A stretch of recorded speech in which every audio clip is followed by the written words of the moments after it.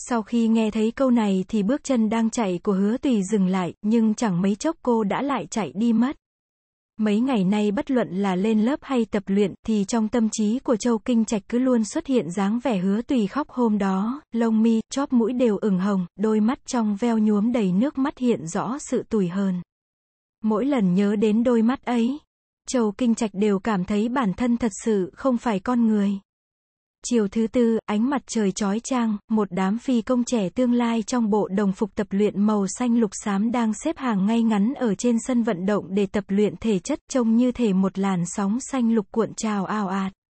Thịnh Nam Châu vừa hoàn thành xong 50 lượt chạy lên xuống trên thang máy bay, bám lên xà đơn trong sân vận động thở hồn hển như chó. Châu Kinh Trạch ngậm một cọng cỏ đuôi chó trong miệng, hai tay đút túi, giơ chân đá vào người Thịnh Nam Châu, thanh âm mơ hồ không rõ ràng. Hỏi cậu chuyện này. Thịnh Nam Châu lật người, hào sảng nói, hỏi đi, anh Châu của cậu mà biết thì sẽ nói hết. Châu Kinh Trạch sắp xếp câu từ, ngập ngừng nói, nếu như cậu làm sai chuyện gì đó, thì định xin lỗi người ta thế nào? Rất đơn giản, mời người ta ăn cơm. Thịnh Nam Châu búng tay, đắc ý, nếu một bữa không được vậy thì hai bữa. Ánh mắt Châu Kinh Trạch nhìn Thịnh Nam Châu lạnh lẽo, anh rời mắt khỏi tên ngu ngốc này, sau đó đi thẳng. Chuyện này mình có kinh nghiệm nhất, không nói ai khác, cứ nói tây tây đi, có lần nào là không ăn sạch sành xanh tiền trong túi mình đâu. Thịnh Nam Châu vẫn ở đó nói một tràng dài, nói chán chê mà không có ai trả lời, quay đầu lại thì phát hiện anh đã rời đi từ lâu rồi. Thái độ này của cậu là sao hả? Thịnh Nam Châu bất mãn. Chấm chấm chấm chấm chấm chấm chấm phẩy chấm chấm phẩy chấm chấm. Dạo này hứa tùy nhận thấy Hồ Thiến Tây có chút thay đổi so với trước kia, thích sửa soạn ăn diện hơn, mang cặp lồng đến nhà ăn mua cơm thôi mà cũng không quên ăn mặc trang điểm dạng dỡ. Chập tối hai người ăn cơm ở nhà ăn xong, đi trên con đường trong khuôn viên trường. Gió mát hiu hiu thổi, những áng mây đỏ cam rực lửa phía chân trời đè xuống rất thấp, dường như mùa hè sắp sửa tới rồi. Tùy tùy à, cuối tuần cậu rảnh không? Hồ Thiến Tây hỏi. Sao thế? Hứa tùy hỏi cô ấy. Đi xem trận đấu bóng rổ với mình nhé, ở học viện kinh hàng. Hồ Thiến Tây nói. Hứa tùy kinh ngạc, cảm thấy có gì đó không ổn, sao cậu lại có hứng thú đến học viện kinh hàng xem thi đấu thế, để cổ vũ cho thịnh Nam Châu à? Mình ăn no nên rảnh hơi được chưa? Hồ Thiến Tây, xỉ một tiếng, lát sau nhớ ra gì đó lại ngại ngùng. Mình nghe ngóng được Lộ Văn Bạch sẽ làm thêm ở đó, chắc là sinh viên làm thêm được thuê. Bởi nhà tài trợ của cuộc thi đấu. Không hiểu sao anh ấy lại làm thêm nhiều như vậy. Hơn nữa trận đấu bóng rổ này còn phải có vé, mà còn là vé phát nội bộ chứ, mình đi đâu để tìm vé đây? Hồ Thiến Tây ủ rũ mặt mày. Hứa tùy sáng tỏ mục đích của Hồ Thiến Tây, cố ý trêu cô ấy, cười híp mắt nói, hóa ra cậu định tay không bắt sói trắng à, vậy mình phải xem xem lịch trình của mình rồi. Ừm, có lẽ là không có thời gian. Mình đánh chết cậu. Hồ Thiến Tây thẹn quá hóa giận, bắt đầu cù lét cô ngay trốn đông người. Hứa tùy cười đến mức co gập người lại né tránh, song vẫn không thể thoát khỏi móng vuốt của cô ấy. Hồ Thiến Tây hỏi, còn dám đùa mình nữa không? Không dám nữa, mình sai rồi. Hứa tùy lập tức xin tha mạng. Sau khi Hồ Thiến Tây buông tay, hứa tùy nhanh chóng chạy lên phía trước, bật ra tiếng cười giòn giã, lần sau mình vẫn dám. Chập tối, hương thơm thanh mát của hoa rành rành vương trên bóng dáng đang rượt đuổi nô đùa của hai cô gái, một chàng cười vui vẻ vang vọng khắp khuôn viên trường. Chấm chấm chấm chấm chấm chấm chấm phẩy chấm chấm phẩy chấm chấm. Thứ năm, Hứa tùy học bài trong ký túc có một cô gái ở phòng bên cạnh qua tìm Hồ Thiến Tây lấy đồ. Hồ Thiến Tây bê ghế tới đứng với lên tủ, lục tìm bên trong. Trong thời gian chờ đợi thì cô gái đó tán gẫu với bọn họ, giọng điệu cả kinh, đúng là sống càng lâu càng thấy được nhiều chuyện thú vị, không ngờ châu kinh trạch của học viện hàng không kinh bắc lại ở dưới ký túc của chúng ta đợi người, vừa nãy đi qua mình liếc mắt nhìn, đẹp trai quá đi mất. Cậu hai mình hả? Hồ Thiến Tây cười khẩy, ngữ khí thản nhiên, cũng tạm.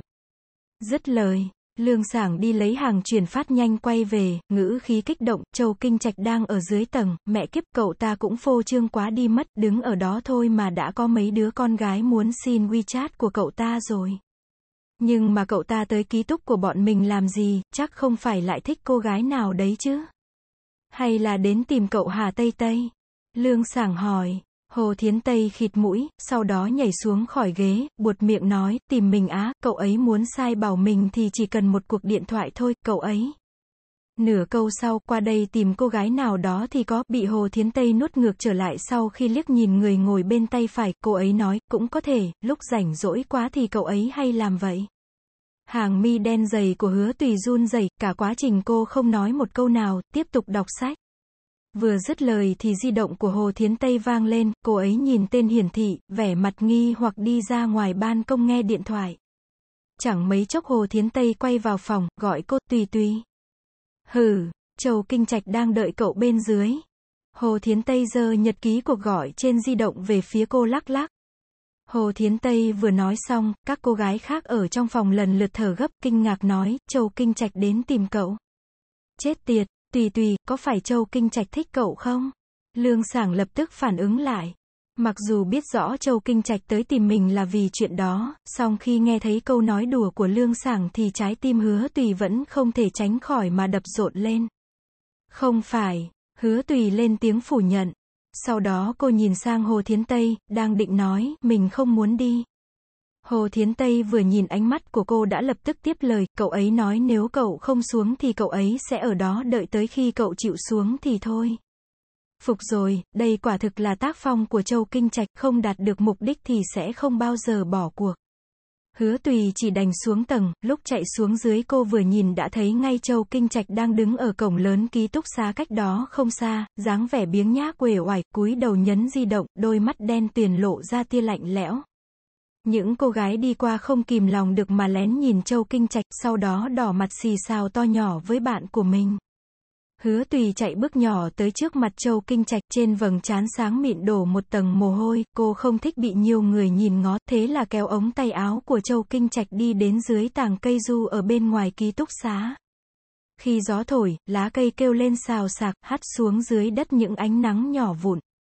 Châu Kinh Trạch hai tay đút túi, đứng dưới tàng cây mờ ảo, bóng dầm đổ xuống bờ vai anh. Châu Kinh Trạch cúi đầu, nhướng chân mày, như cười như không nhìn tay cô, ngón tay trắng ngần thon nhỏ đang giữ dịt lấy ống tay áo của anh. Mặt hứa tùy nóng bừng, lập tức buông tay, sau khi bình ổn lại hơi thở thì hỏi, cậu tìm mình có chuyện gì? Câu nói này đã nhắc nhở Châu Kinh Trạch, anh mỉm cười, ngữ khí bắn nhắng, không có chuyện thì không được tìm cậu à. Hứa tùy mím môi không tiếp lời. Châu Kinh Trạch tiếp tục mở miệng, nghiến răng. Mình đã gọi điện thoại cho cậu, cũng đã nhắn tin. Nhưng đều không nhận được câu trả lời, lần đầu tiên trong đời Châu Đại Thiếu gia đây bị gạt sang một bên. Không phải đợt Tết mình đã nói với cậu rồi sao? Gửi nhầm tin nhắn là vì di động của mình hỏng rồi. Hứa tùy không muốn nhắc lại chuyện đó, song vẫn nói ra, cô giải thích quay lại trường mình vẫn chưa mua di động mới. Sau khi nói xong câu này, cả hai đều rơi vào trầm mặc. Châu Kinh Trạch nhớ lại chuyện khốn khiếp mình đã làm trước kia. Hứa tùy di chuyển gót chân, nói. Không có chuyện gì thì mình đi trước đây. Hứa tùy đứng trước mặt. Anh, cụp mắt, đối diện với gương mặt ngoan thế này khiến cho Châu Kinh Trạch cảm thấy bản thân như bị mất khả năng lên tiếng, lại còn trông như thể bản thân vô cùng khốn nạn vậy. Đột nhiên, Châu Kinh Trạch liếc thấy một cánh bồ công anh dính trên mái tóc cô, ngón tay buông thõng bên ống quần, cổ họng ngứa ran, đầu ngón tay khẽ động xong lại đút lại vào trong túi. Được, vậy cậu quay về nhớ đọc tin nhắn. Ừm, sau khi quay về hứa tùy vẫn chưa đi mua di động mới, có điều cô định cuối tuần này sẽ đi xem di động, bởi vì nếu cô còn không mua, mẹ và bà ngoại không liên lạc được cho cô sẽ lo lắng. Nhưng có một câu hỏi vẫn luôn xoay vòng trong lòng hứa tùy. Châu Kinh Trạch có ý gì? Định làm lành sao? Tối hôm sau, hứa tùy tắm xong ra khỏi nhà vệ sinh, vừa nghiêng đầu vừa dùng khăn mặt lau tóc ướt. Hồ Thiến Tây đưa di động cho cô, nháy mắt nói, này, điện thoại của Châu Kinh Trạch. Hứa tùy căng thẳng, rút một tờ khăn giấy ra lau sạch tay rồi đi nghe điện thoại. Cô ra khỏi phòng, đứng ở ban công nghe máy. Gió tháng năm mát lạnh, mấy ngôi sao trên bầu trời cao tỏa ra tia sáng lấp lánh, nhìn xuống phía dưới, có cô gái về muộn kéo lê đôi dép, cánh tay trắng như bông sen vung vẩy một chiếc túi ni lông, bên trong đựng mấy cây kem, nước trong hồ dưới tầng một mở rất to, bọn họ cười nói vui vẻ đi lướt qua mặt hồ. Là mình, thanh âm khàn khàn của Châu Kinh Trạch truyền đến. Hứa tùy áp di động lên tai, đồng thời dùng khăn mặt lau tóc đáp lại, mình đây. Cậu đăng ký không? Châu Kinh Trạch bật ra tiếng cười khẽ, sau đó hình như anh châm một điếu thuốc, trong ống nghe truyền đến tiếng tách của bật lửa vô cùng rõ ràng. Châu Kinh Trạch thở hắt ra một hơi, thanh âm khàn khàn, không phải cậu muốn đến xem thi đấu sao? Ngày mai cậu ra ngoài, mình giữ hai tấm vé cho cậu rồi. Thi đấu, thi đấu bóng rổ. Hứa tùy nghi hoặc cô nói muốn đi xem thi đấu bóng rổ khi nào chứ, ngoại trừ Tây Tây, vừa nghĩ đến cô ấy là hứa tùy đã sáng tỏ ngay. Mình không muốn đến, là Tây Tây. Một giây sau, thanh âm trầm thấp lại khàn đặc của Châu Kinh Trạch xuyên qua sóng vô tuyến không ổn định lọt vào tai hứa tùy, cảm giác ngứa ngáy lan tràn.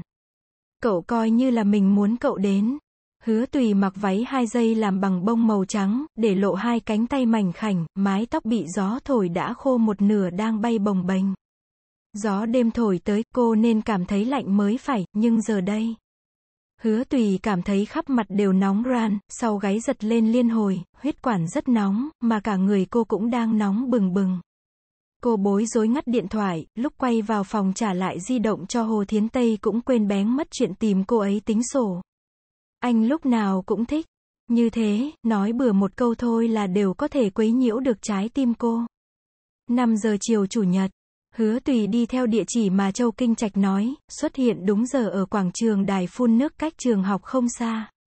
Hứa tùy mặc một chiếc váy màu xanh nước biển đứng cạnh đài phun nước, có mấy giọt nước bắn lên bắp chân cô, cô đi lên trước mấy bước, vô thức nhìn ngó xung quanh, nhưng không đợi được ai cả. Hứa tùy đợi mãi đợi mãi, đợi đến mức bắp chân tê dại, lúc này vừa khéo đài phun nước cũng dừng, cô ngồi trên bồn hoa cảm thấy có chút buồn chán. Hứa tùy quyết định đợi thêm 15 phút nữa, nếu như người còn không đến, thì cô sẽ đi về. Cô đang ngây người thì bỗng nhiên trước mắt xuất hiện một cô bé đi đôi tất trắng dài tới đầu gối, mái tóc xoăn dài xinh xắn, đôi mắt màu nâu, hỏi cô, chị là chị hứa tùy à? Là chị, sao vậy? Hứa tùy cười hỏi. Cô bé đang chắp tay sau lưng, nghe vậy thì biến ra một con búp bê bắp cải xanh, nó đưa cho hứa tùy. Nét mặt hứa tùy kinh ngạc, chỉ ngón tay vào mình, hỏi. Cho chị sao? Cô bé gật đầu, giọng nói non nớt lên tiếng, lúc nãy có một anh bảo em đưa cho chị, anh ấy còn bảo em hỏi chị, nhưng mà, em quên mất rồi à? Cô bé nói xong liền nhét con búp bê bắp cải xanh vào trong lòng hứa tùy, sau đó chạy đi mất. Trên quảng trường người qua lại đông đúc. Hứa tùy ôm con búp bê bắp cải xanh, nhìn chằm chằm vào gương mặt cười tươi của nó mà cảm thấy cay mắt. Hóa ra anh vẫn luôn nhớ. Cảm giác được người ta khắc ghi quả nhiên không giống nhau. Hứa tùy nhớ lúc còn nhỏ, sau khi bố mất vì tai nạn, mẹ không muốn để người khác đâm chọc vào nỗi đau mất mát này nên đã dạy bảo cô rất nghiêm khắc, phần lớn thời gian không phải cô đang làm bài tập thì là đang đọc sách. Đi cây TV với bạn bè là học thói xấu, ra ngoài chơi sẽ ảnh hưởng đến việc học, kỳ nghỉ muốn đi chơi trò mạo hiểm trượt băng, mẹ hứa sẽ không trách móc cô mà dùng một giọng điệu vô cùng mỏi mệt nói rằng, sau này rồi đi, việc quan trọng nhất bây giờ là học tập. Sau khi con búp bê bắp cải xanh bị mất vì chuyển nhà. Hứa tùy từng nói muốn mua một con mới, mẹ nói đợi cô thi được vào top 3 trong lớp bà sẽ mua cho cô. Cuối cùng hứa tùy nỗ lực thi được vào top 3 trong lớp, mẹ hứa cũng thực hiện đúng lời hứa, lúc ăn cơm đưa cho cô một hộp quà. Hứa tùy vui mừng mở ra xem, nụ cười trên mặt liền cứng đờ. Không có búp bê bắp cải xanh mà cô hằng mong nhớ, mà là một chiếc máy học tập. Gương mặt mẹ hứa hiền hòa, ngữ khí dịu dàng, nhất nhất, con thích không? Hứa tùy vốn muốn nói thứ con muốn chỉ là một con búp bê, song ngước mắt nhìn thấy những sợi tóc bạc gần thái dương của mẹ.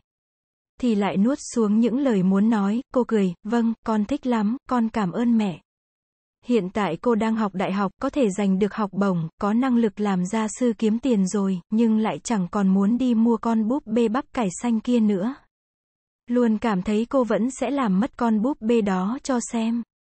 Xong bây giờ, Châu Kinh Trạch lại mang thứ từng bầu bạn bên cạnh cô tới trước mặt cô. Hứa tùy đang ngây người suy nghĩ thì một giọng nói uể oải truyền đến. Anh ấy muốn hỏi là, chị có thể tha thứ cho tên khốn khiếp đó không? Hứa tùy ngẩng đầu, chạm phải đôi mắt đen tuyền sắc bén. Châu Kinh Trạch mặc áo tê sớt đen, trong tay cầm một chai nước lạnh đứng trước mặt cô. Châu Kinh Trạch ngồi xuống bên cạnh cô, mở nắp chai nước ra uống một ngụm, ngữ khi ấm áp, chuyện trong kỳ nghỉ đông là mình không đúng, do mình kích động quá, lúc đấy mình tưởng người mình nhắn tin là một người bạn đang ở nước ngoài của mình, vậy nên mới nói chuyện không kiêng nể gì. Sau khi biết nói chuyện nhầm người rồi kỳ thực mình rất hoảng, chỉ là mình sợ, sợ cậu sẽ biết được một mặt tăm tối khác của mình. Châu Kinh Trạch cười tự diễu, ngữ khí chân thành. Đợi một ngày mình có thể đối mặt với chính bản thân mình, có cơ hội mình sẽ nói cho cậu nghe. Là mình khinh suất, mình xin lỗi cậu. Hóa ra là như vậy. Hứa tùy thầm thở phào trong lòng, không phải anh ghét cô là được rồi. Sau khi xảy ra chuyện này, hứa tùy rất buồn, thậm chí còn ghét bản thân, vậy nên mới luôn trốn tránh và sợ gặp anh. Không phải người anh thích là tốt rồi. Sau khi mọi chuyện được giải thích rõ ràng, tâm trạng của hứa tùy hệt như bầu trời sau cơn mưa rào vậy, tỏa nắng rạng rỡ.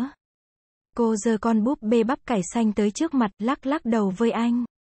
Không sao rồi, sau này cậu đừng nổi cáu với mình nữa là được. Không đâu, Châu Kinh Trạch nhìn cô.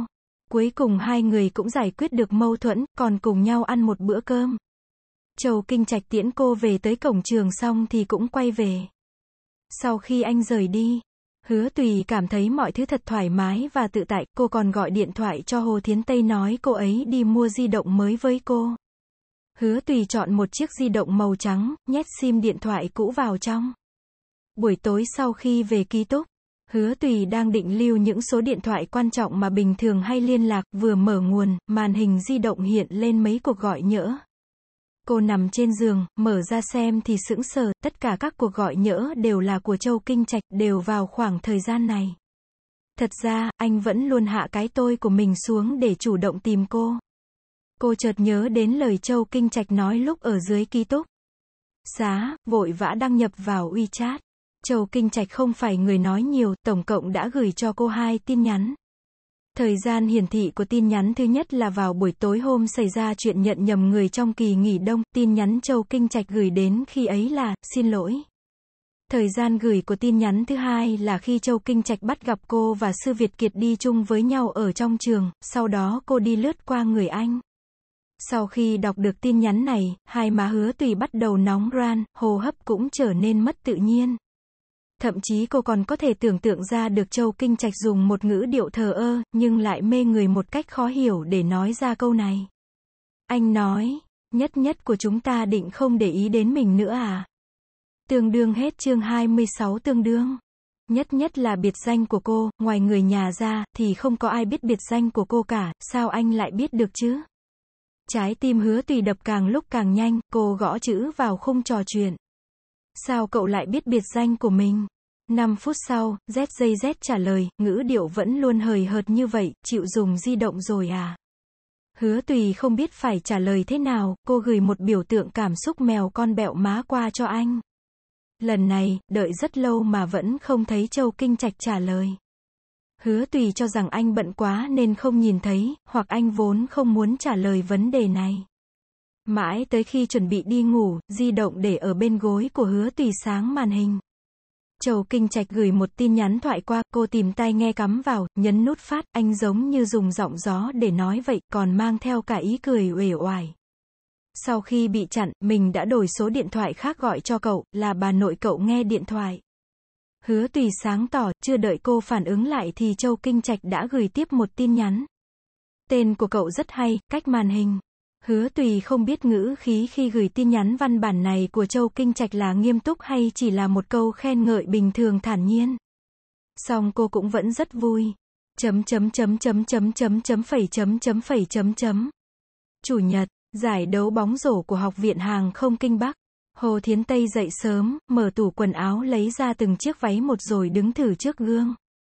Hứa tùy thức dậy, đứng đánh răng trước bồn rửa mặt, cô xúc một ngụm nước rồi nhổ ra, đang cúi đầu đánh răng thì Hồ Thiến Tây chạy vào tóm lấy vạt váy của cô, hỏi, bảo bối à, cậu thấy bộ này thế nào? Miệng hứa tùy ngậm đầy bọt vị bạc hà, cô bật ra thanh âm mơ hồ không rõ ràng, cũng được. Hồ Thiến Tây tự động đem câu này hiểu thành, vẫn chưa đủ xinh đẹp, cô ấy chỉ đành chạy về trước tủ quần áo để thử đồ tiếp. Hứa tùy vặn vòi nước, đang rửa miệng cốc thì đột nhiên bụng dưới giấy lên một trận đau âm ỉ, cô không khỏi cúi gập eo xuống, ấn chặt bụng. Hồ Thiến Tây ở bên ngoài gọi cô. Hứa tùy chờ cho cơn đau dịu đi một chút, cô đáp, ra ngay đây.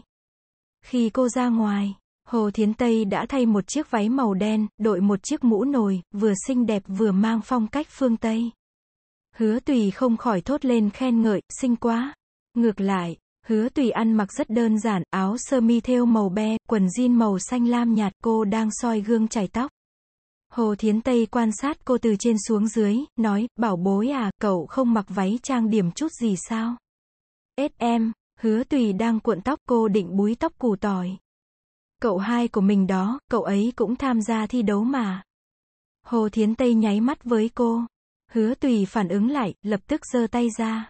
Cù lét cô ấy, giả bộ tức giận, cậu còn nói hả, là ai nói với cậu của cậu là mình muốn đi xem đấu bóng rổ, rõ ràng là cậu. Mình sai rồi, mình sai rồi. Tùy tùy tốt bụng của mình, đây cũng là vì mình không kiếm được vé mà. Hồ Thiến Tây tức tốc xin tha mạng. Bấy giờ hứa tùy mới tha cho cô ấy, khi cô cúi đầu tiếp tục búi tóc thì nhìn vào chính mình ở trong gương, đôi mắt đen láy, trên sống mũi cao có một nốt ruồi đen nhỏ, gương mặt nhỏ bằng lòng bàn tay, cách ăn vận nhìn tổng thể cũng vô cùng sáng sủa thoải mái. Không cần phải sửa soạn trang điểm nữa, như vậy cũng cố ý quá. Hứa Tùy và Hồ Thiến Tây cùng nhau đến nhà ăn ăn sáng, sau đó cô đi cùng cô ấy tới sân vận động của kinh hàng. Bọn họ đi bằng vé vào cổng Bắc.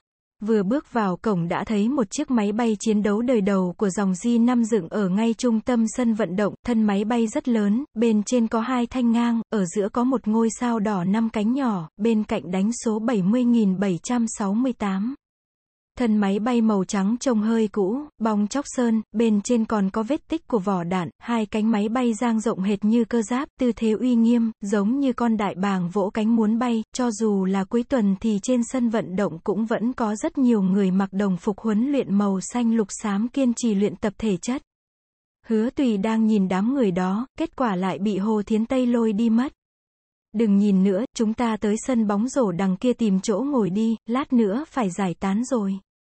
Ngữ khí của Hồ Thiến Tây kích động. Bọn họ tới sớm 15 phút, vừa ngồi xuống ghế. Hồ Thiến Tây không kìm lòng được, nhìn ngó xung quanh hòng tìm bóng dáng của Lộ Văn Bạch. Hứa Tùy ngồi bên cạnh xem di động, đột nhiên Châu Kinh Trạch gửi tin nhắn đến cho cô. Cậu đến chưa? Hứa Tùy đang trả lời tin nhắn thì chỗ ngồi đằng sau có mấy cô gái không ngừng nói, cho đi nhờ. Cho đi nhờ, một cô gái trong số đó không cẩn thận đụng mạnh vào khuỷu tay của cô. Di động mà hứa tùy đang cầm bay vèo ra ngoài, cô cúi người đi nhặt, cô gái đó nói xin lỗi với cô, xin lỗi nhé, cậu không sao chứ? Không sao, hứa tùy lắc đầu. Đúng lúc này, các tiền thủ đấu bóng rổ của từng đội tiến vào sân. Hứa tùy ngước mắt nhìn, trong một đám con trai cao lớn kia, không ngờ lại không trông thấy bóng dáng của Châu Kinh Trạch đâu. Hứa tùy gửi lại tin nhắn cho Châu Kinh Trạch, mình đến rồi, đi cùng Tây Tây, nhưng sao mình lại không nhìn thấy cậu vậy? Sau khi gửi tin nhắn được 2 phút, di động của hứa tùy kêu lên một tiếng, đinh, cô mở màn hình, ZJZ gửi tin nhắn đến.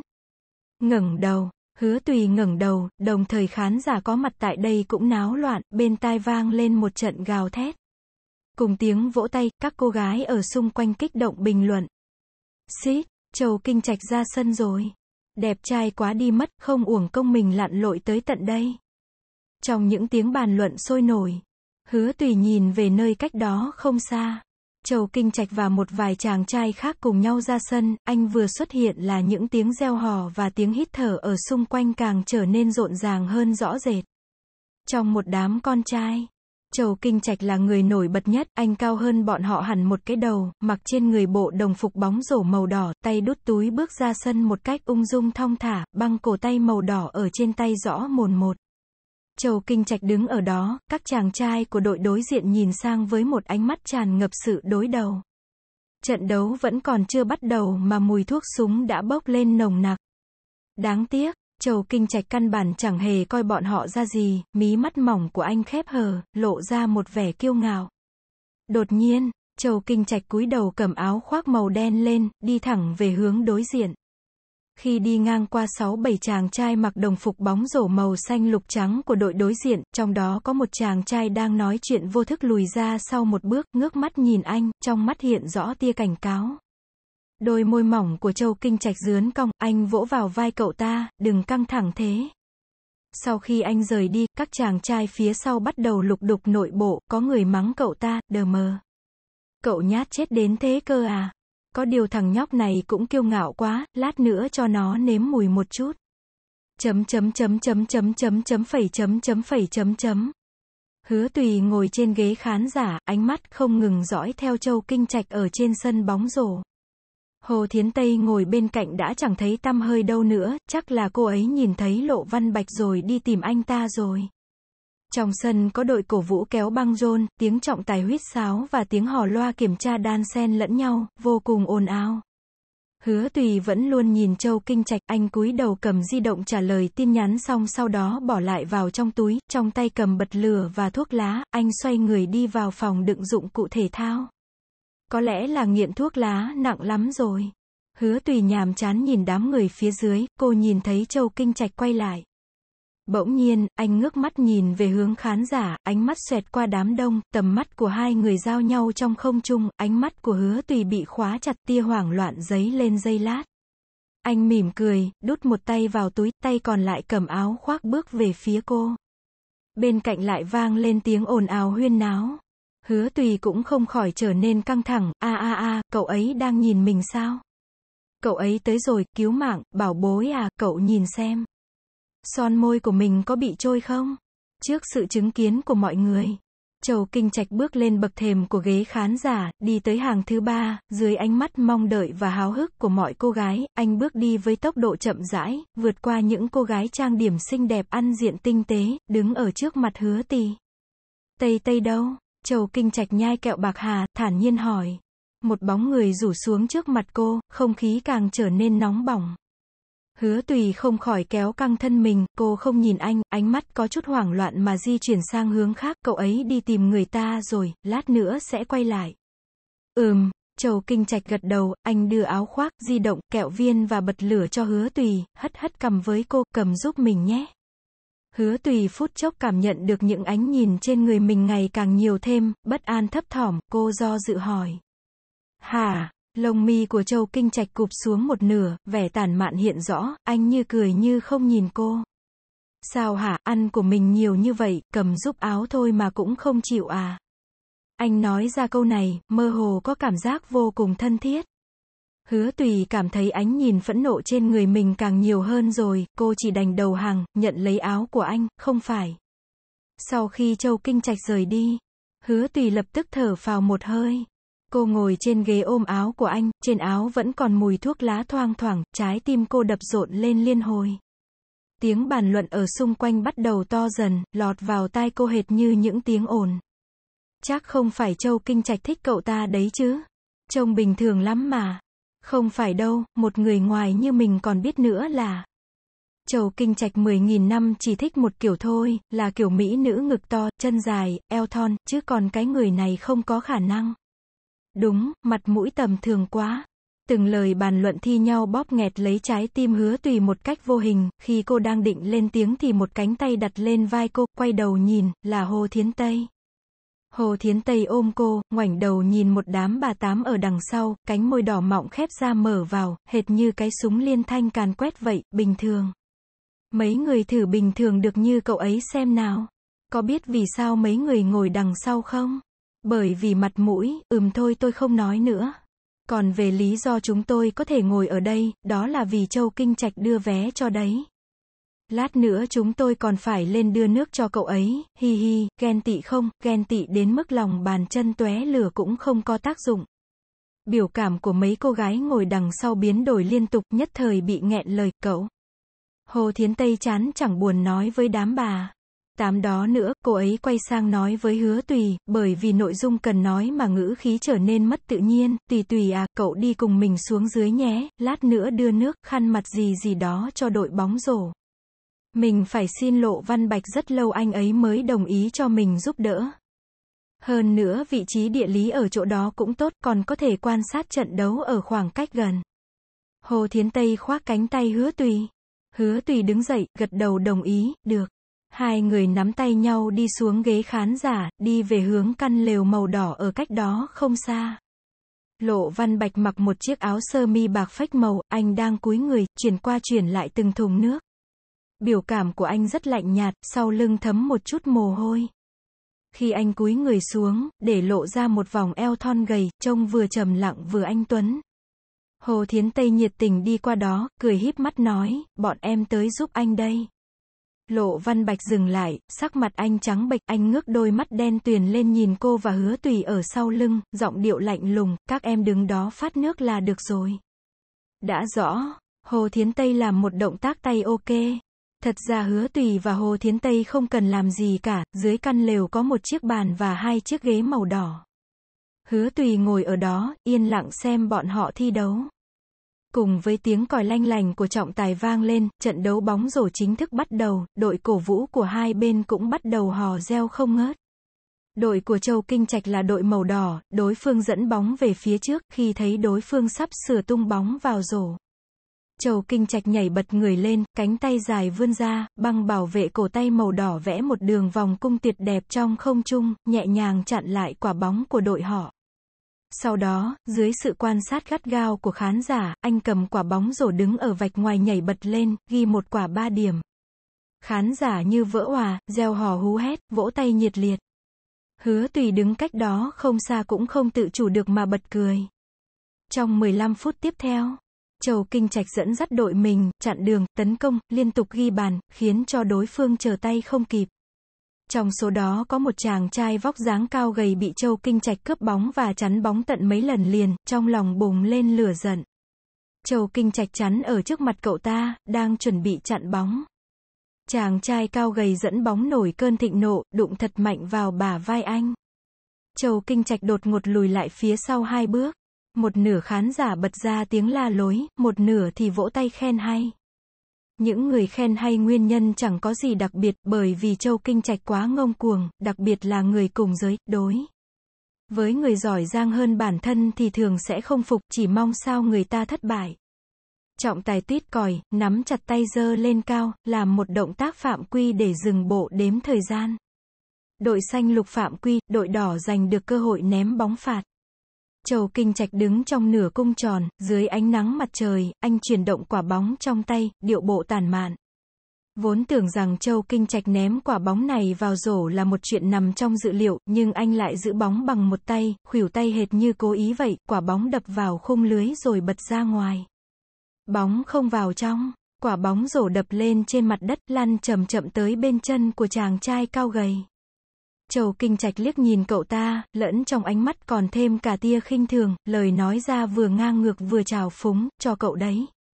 Đây rõ ràng là một hành động coi thường quá mức. Nói xong anh xoay người tiếp tục dẫn bóng, không nhìn đối phương thêm một cái nào nữa. Chàng trai cao gầy đứng tại chỗ, gương mặt đỏ bừng. Trận đầu tiên, Châu Kinh Trạch đã dẫn dắt đội mình giành được thắng lợi với tỷ số áp đảo là 32 đến 20. Toàn bộ quá trình tiếng vỗ tay vang lên như sấm, những tiếng thét chói tai của các cô nàng mê trai vang vọng khắp sân bóng rổ. Nghỉ giải lao giữa trận, các chàng trai giơ tay lau mồ hôi đi qua lấy nước uống ừng ực. Châu Kinh Trạch đứng dưới bóng dâm của khung bóng rổ, ánh nắng kéo bóng anh đi thật dài. Sau khi tiếng còi dừng lại, các cô gái lao lên trước, chen chúc nhau đưa khăn mặt và nước cho Châu Kinh Trạch. Hứa tùy đứng nhìn ở cách đó không xa thầm thở dài một hơi trong lòng. Đằng sau áo đồng phục bóng rổ của Châu Kinh Trạch ướt đẫm một chút mồ hôi, anh cầm chai nước đá ở dưới chân lên, vặn nắp rồi đổ thẳng lên đỉnh đầu, những giọt nước men theo đường quai hàm góc cạnh nhỏ xuống dưới, đập trên sàn, rõ ràng là một động tác bắn nhắng cợt nhả, xong lại toát lên một vẻ gợi cảm ham muốn lạ thường. Các thành viên của đội xanh lục đến cả thời gian uống nước cũng không có, bọn họ tức tốc trụm thành một vòng rồi cùng nhau đưa ra biện pháp đối phó. Chàng trai cao gầy cao 180cm, là đội trưởng, tên Cao Dương, cũng là bạn học ở lớp bên cạnh của Châu Kinh Trạch, thành tích học tập và kỹ thuật bay đều vô cùng xuất sắc, là một người cực kỳ nỗ lực. Trận sau không thể thua được nữa. Ngữ khí của Cao Dương kiên định. Thằng nhóc đó ngông cuồng bỏ mẹ ra, chơi thế nào? Một chàng trai cao lớn đứng ở bên cạnh nói. Cao Dương lấy khăn ướt ra lau mồ hôi trên cổ, liếc nhìn Châu Kinh Trạch ở đằng kia, lên tiếng, cách chơi bóng của Châu Kinh Trạch mang đậm phong cách cá nhân, ngông cuồng, luôn làm theo ý mình, là sói. Dẫn đầu của đội bọn họ, Nhưng trong bài đánh giá kiến thức kỹ thuật bay có một từ tiếng Anh gọi là collaboration, cậu ta không có tinh thần đồng đội, đây là ưu điểm song cũng là khuyết điểm của cậu ta. Chấm ngoặc kép phẩy chấm chấm phẩy chấm chấm. Các thành viên trong đội rất nhanh đã phản ứng lại, tiếp lời, vì vậy chúng ta chỉ cần phòng thủ tốt, sau đó thâm nhập vào hậu phương của bọn họ, vòng vây kín chắc chắn sẽ bị phá bỏ. Được lắm lão cao, đúng là học sinh giỏi có khác, chơi bóng thôi mà còn có thể vận dụng được cả kiến thức để phân tích. Có người khen ngợi, Cao Dương cười cười không nói gì, nhưng xét theo biểu cảm của cậu ta thì câu khen ngợi này rõ ràng rất hữu dụng, cậu ta vỗ lên vai của đồng đội, đi uống nước đây, nghỉ ngơi cho tốt. Hứa tùy đứng trước thùng nước khoáng cao bằng ngọn núi nhỏ, cô cúi người lấy nước đưa cho bọn họ, chốc chốc lại đưa khăn mặt, vô cùng bận rộn, còn Hồ Thiến Tây thì đã bị, nam sắc mê hoặc từ lâu rồi, chẳng biết chạy theo lộ văn bạch đi đâu mất tiêu. Một chai nước, Cao Dương đi qua đó nói. Hứa tùy cúi người đưa lưng về phía cậu ta, cô lấy một chai nước rồi quay đầu lại, của cậu đây. Cao Dương nhận lấy chai nước, sau khi nhìn rõ mặt của hứa tùy thì đáy mắt xoẹt qua tia kinh ngạc, cậu ta hỏi một cách thăm dò, cậu học ở trường mình à? Hứa tùy lắc đầu, thanh âm dịu dàng, không phải, mình học ở bên cạnh trường. Bốn chữ, đại học y khoa, vẫn chưa nói ra hoàn chỉnh thì cô trông thấy Châu Kinh Trạch đang bước từng bước về phía này, tay anh đút túi, băng bảo vệ cổ tay màu đỏ dán ở trong đường may quần. Anh đứng ở sau lưng Cao Dương, gọi cô. Hứa tùy, SM, một nhóm người quay đầu lại, bao gồm cả Cao Dương. Dưới ánh nhìn chăm chú của đám đông, nét mặt Châu Kinh Trạch điềm tĩnh, lông mi khép hờ, biểu cảm thoạt nhìn có vẻ trào phúng, song lời nói ra lại mang một vẻ thân thiết như có như không. Có phải áo của mình vẫn ở chỗ cậu không? Tương đương hết chương 27 tương đương. Châu Kinh Trạch nói xong câu này. Cao Dương đứng ở đó ánh mắt biến đổi. Hứa tùy tưởng rằng anh muốn lấy lại áo thật, cô quay đầu tìm, áo khoác của anh vắt trên ghế, mấy thứ như kẹo viên và bật lửa đều bỏ hết trong túi áo. Hứa tùy đưa đồ cho anh. Chầu kinh trạch nhận lấy thuốc lá và bật lửa, anh hất cầm với cô, áo để ở chỗ cậu trước đã, ồ, được. Hứa tùy vắt lại áo lên trên ghế. Có ăn kẹo không?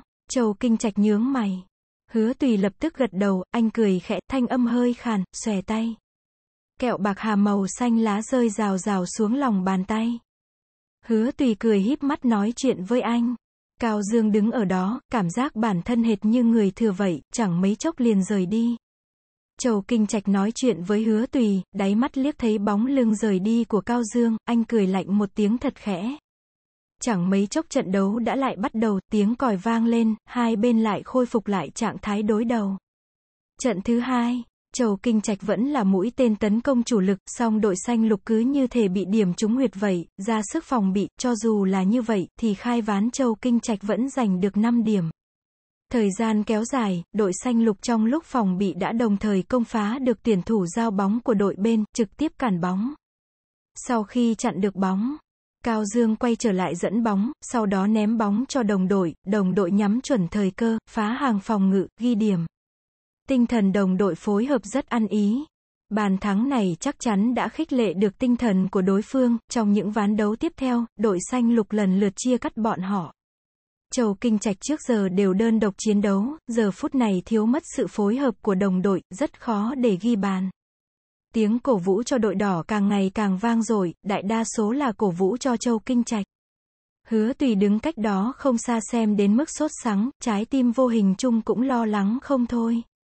Nửa hiệp sau, đội đỏ mất hết tinh thần, chỉ dựa vào một mình Châu Kinh Trạch, bình thường là anh sẽ cướp bóng, dẫn bóng, ghi điểm, thế nên các đồng đội cũng dần dần bắt trước theo, đều là phong cách này, song lại không có được khí chất giống như anh. Sau cùng đội đỏ đã thua đội xanh lục với tỷ số 23, 28. Một hiệp thắng, một hiệp thua, hòa nhau. Hiệp thứ ba là hiệp quyết định. Những tiếng la hét vang vọng khắp sân vận động, tất cả đều là sự phản đối dành cho Châu Kinh Trạch. Đồng đội của đối thủ ngước đầu, giơ ngón giữa với anh. Châu Kinh Trạch uể oải dựa người vào trước bậc thềm, lọn tóc đen trước chán ươn ướt, anh ngước mắt liếc nhìn bọn họ, khóe môi dướn cong đáp trả bằng một. Nụ cười gợi đòn không gì sánh được. Anh dường như chẳng quan tâm chút nào, giơ tay gọi đồng đội qua, lời nói ngắn gọn xúc tích ưu điểm của mỗi người các cậu là gì? Nói ra đi để phân công. Sở trường của tôi là cản bóng và ném bóng vào rổ. Châu Kinh Trạch kéo vạt áo lên lau mồ hôi nơi khóe mắt, ngữ khí vẫn luôn kiêu ngạo như vậy. Đương nhiên, những cái khác tôi cũng rất giỏi. Đồng đội lần lượt nói ra những sở trường của riêng mình. Châu Kinh Trạch cụp mắt suy nghĩ, sau đó vạch ra một kế hoạch. Hiệp thứ ba chính thức bắt đầu. Hứa tùy phóng tầm mắt về phía Châu Kinh Trạch đang dẫn bóng, cô thầm nói trong lòng một câu cố lên. Khi tiếng còi vang lên, mọi người đều kinh ngạc, đặc biệt là đội xanh lục, bọn họ tưởng rằng Châu Kinh Trạch sẽ là người đầu tiên xông lên cướp bóng, song kết quả anh vẫn đứng ở chỗ cũ phòng thủ, còn những đồng đội khác thì tấn công. Đội xanh lục phút chốc hoảng sợ, hoàn toàn không biết Châu Kinh Trạch dở chiêu gì. Mặc dù thực lực cản bóng, ném bóng vào rổ của đồng đội đội đỏ không bằng anh, nhưng họ vẫn luôn ghi điểm một cách ổn định. Tỷ số của hai đội dần dần bắt kịp nhau, nửa hiệp sau. Châu Kinh Trạch dùng ánh mắt ra hiệu với đồng đội, bắt đầu phát huy sức mạnh. Anh dùng một tay nhồi bóng, sau đó lao lên phía trước, hệt như một con báo mạnh mẽ nhảy vọt lên, tóm lấy vành rổ rồi ném liên tục vào rổ ba lần. Toàn sân vận động lặng đi một giây, ngay sau đó phát ra tiếng reo hò vang dội, thậm chí các cô gái còn thở dài, liên tục hét, mẹ kiếp, động tác vừa nãy của cậu ấy đẹp trai quá đi mất. Xuất sắc nhất luôn. Hu hu hu hu hu hu, mình kích động quá, mình cũng muốn tìm phi công làm bạn trai. Có người kích động nói. Cô bạn đi cùng vạch trần không chút thương tiếc, thôi đi, cậu cứ nói thẳng cậu muốn tìm một người bạn trai cao 185cm, biết chơi game, biết kéo đàn sen lô, chơi bóng rổ giỏi, lại đẹp trai, tương lai lại còn lái máy bay như Châu Kinh Trạch ở học viện hàng không luôn đi. Người bạn trai như thế này phải đốt bao nhiêu hương mới cầu được chứ? Hu hu hu, ngưỡng mộ bạn gái tương lai của cậu ấy quá. Chấm chấm chấm chấm chấm chấm chấm phẩy chấm chấm phẩy chấm chấm. Hứa tùy xem đến mức căng thẳng, trời nắng chói chang, cô cầm lấy tờ rơi bên bàn lên quạt mát cho mình, tay còn lại dơ lên che nắng, nghiêm túc xem trận thi đấu. Tiếng hò hét ở xung quanh kịch liệt. Hứa tùy sóng lòng dâng trào, cô cũng không kiềm chế được mà hét lên, Châu Kinh Trạch cố lên. Châu Kinh Trạch cố lên. Hét mãi hét mãi. Hứa tùy phát hiện bụng dưới giấy lên một cơn đau nhói, lục phủ ngũ tạng của cô xoắn bện.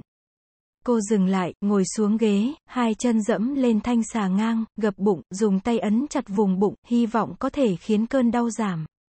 Bớt một chút, song hứa tùy lại cảm thấy cơn đau càng lúc càng trở nên dữ dội, giống như có vô số cây kim nhỏ lăn qua lăn lại, từng giọt mồ hôi lăn dài trên trán, cô không khỏi co rụt lại cơ thể.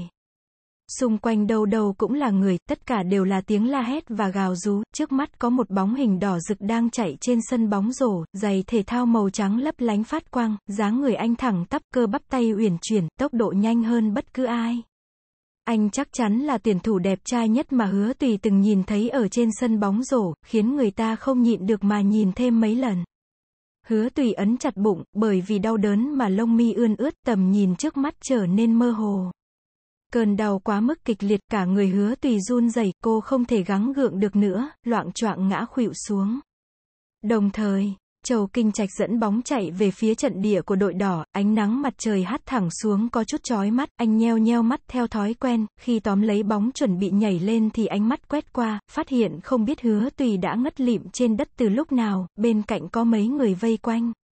Ngón tay đang giữ bóng của Châu Kinh Trạch siết chặt lại, ánh mắt anh trần trừ, bên cạnh là những tiếng gào thét đầy kích động, cùng với tiếng cười chế giễu của đám con trai xem kịch hay. Cậu có ổn không thế? Không đến một giây, Châu Kinh Trạch ném bóng đi, rời khỏi sân bóng, sau lưng liên tục vang lên tiếng chất vấn và nghi hoặc anh không quay đầu mà đi một mạch về phía trước, chạy bước nhỏ tới trước mặt hứa tùy. Châu Kinh Trạch đón lấy cô từ trong tay một cô gái, ôm cô vào lòng, chạy ra khỏi sân vận động. Sau lưng đều là những lời dè biểu và thương hại dành cho anh. Sau khi Châu Kinh Trạch rời trận đấu, đổi người dự bị lên, đội đỏ mất tướng thì trở nên hỗn loạn. Cao Dương dẫn đội xanh lục liên tục ghi điểm, cuối cùng giành được chiến thắng. Đồng đội hoan hô tới tấp, nắm tay nhau chạy đi chạy lại khắp sân vận động, sau cùng còn nhấc bổng Cao Dương lên, khen nói, cảm ơn đội trưởng. Cao Dương, cậu giỏi lắm, cũng chỉ có cậu là so được với Châu Kinh Trạch thôi. Gò má bình tĩnh của Cao Dương xuất hiện nụ cười, cậu ta đang tận hưởng niềm vui chiến thắng.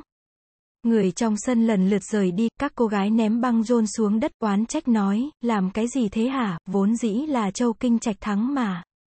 Hai, ba chàng trai bàn luận nói, mặc dù không phục nhưng Châu Kinh Trạch vẫn mạnh hơn, trận này đáng tiếc thật. Khai cuộc ông đây đã đặt cược 100 tệ Châu Kinh Trạch thắng rồi, kết quả cậu ta lại rời trận giữa hiệp, mẹ kiếp, người tài giỏi thường có lối đi riêng biệt à. Nghe thấy mấy, lời bàn luận này, nụ cười trên mặt Cao Dương cứng lại. Dựa vào đâu chứ, rõ ràng là cậu ta thắng rồi, vậy mà mọi người lại cho rằng Châu Kinh Trạch mới là người chiến thắng. Đồng đội Lý Lâm ở bên cạnh khoác tay lên vai Cao Dương, nheo mắt nhìn hai người ở cách đó không xa hồi tưởng lại, sao mình cảm thấy đứa con gái đó quen mắt thế nhỉ? Cậu quen à? Cao Dương hỏi. Lý Lâm vỗ đầu, kinh ngạc nói, mình nhớ ra rồi. Đứa con gái đó là bạn cùng lớp hồi cấp 3 của mình, nhưng chỉ học cùng nửa năm, nửa học kỳ sau của lớp 10 cậu ta chuyển trường rồi. Chật chật, bây giờ cậu ta xinh quá, không ngờ đấy. Lý Lâm như có điều suy nghĩ. Cao Dương nhìn bóng dáng đang chạy của Châu Kinh Trạch ở cách đó không xa, hỏi, sao lại nói thế, à, cậu không biết đấy thôi, hồi lớp 10 đứa con gái đó. Lý Lâm lộ ra một nụ cười chế giễu, giọng điệu sâu xa. Chấm chấm chấm chấm chấm chấm chấm phẩy chấm chấm phẩy chấm chấm. Châu Kinh Trạch bế hứa túy chạy suốt dọc đường, mặc dù ý thức của hứa tùy mơ hồ, song cô vẫn có thể miễn cưỡng nhận ra người trước mắt là Châu Kinh Trạch. Anh chạy rất nhanh, hứa tùy túm lấy góc áo trước ngực anh, bởi vì lắc lư nên chốc chốc cô lại đập vào lồng ngực anh, rất cứng, song lại nóng bỏng. Thứ phả vào mặt đều là hơi thở của anh, vừa lạnh lẽo vừa mạnh mẽ. Hứa tùy cảm giác các huyết quản và lớp da của mình sắp vỡ tung rồi, nhất là một người nổi tiếng như anh bế cô chạy trên sân vận động, suốt dọc đường để cô hứng chịu sự chú ý, khiến cô càng ngại ngùng hơn. Hứa tùy giúp trong lồng ngực rộng lớn của anh động đậy, nhỏ giọng nói, cậu thả mình xuống đi. Châu Kinh Trạch cụp mắt liếc nhìn cô, sắc môi trắng bệch trên mặt không một tia máu. Anh hỏi một đằng trả lời một nẻo, thấp giọng nói. Sắp đến rồi, cậu thả mình xuống trước đã, mình tự đi được. Ngữ khí của hứa tùy có chút ngại ngùng. Hứa tùy vùng vẫy mấy cái, không có tác dụng, cô ngước mắt chạm phải đôi mắt sâu hút đó của anh, không có cảm xúc, vô cùng lạnh lẽo. Châu Kinh Trạch bế cô sốc lên trước một chút, đường quay hàm của anh góc cạnh lạnh lùng. Anh trầm lặng một lúc lâu, sau đó gọi cả họ tên của cô. Hứa tùy, bây giờ cậu đừng nói chuyện nữa. Hình như anh có chút tức giận. Hứa tùy cũng không dám nói chuyện nữa. Chấm chấm chấm chấm chấm chấm chấm phẩy chấm chấm phẩy chấm chấm. Trận đấu bóng rổ diễn ra chưa được bao lâu thì đôi mắt của Hồ Thiến Tây đã chuyển sang lộ văn bạch rồi, hoặc là ngay từ lúc bắt đầu, tâm tư của cô đã chẳng để ở trận thi đấu.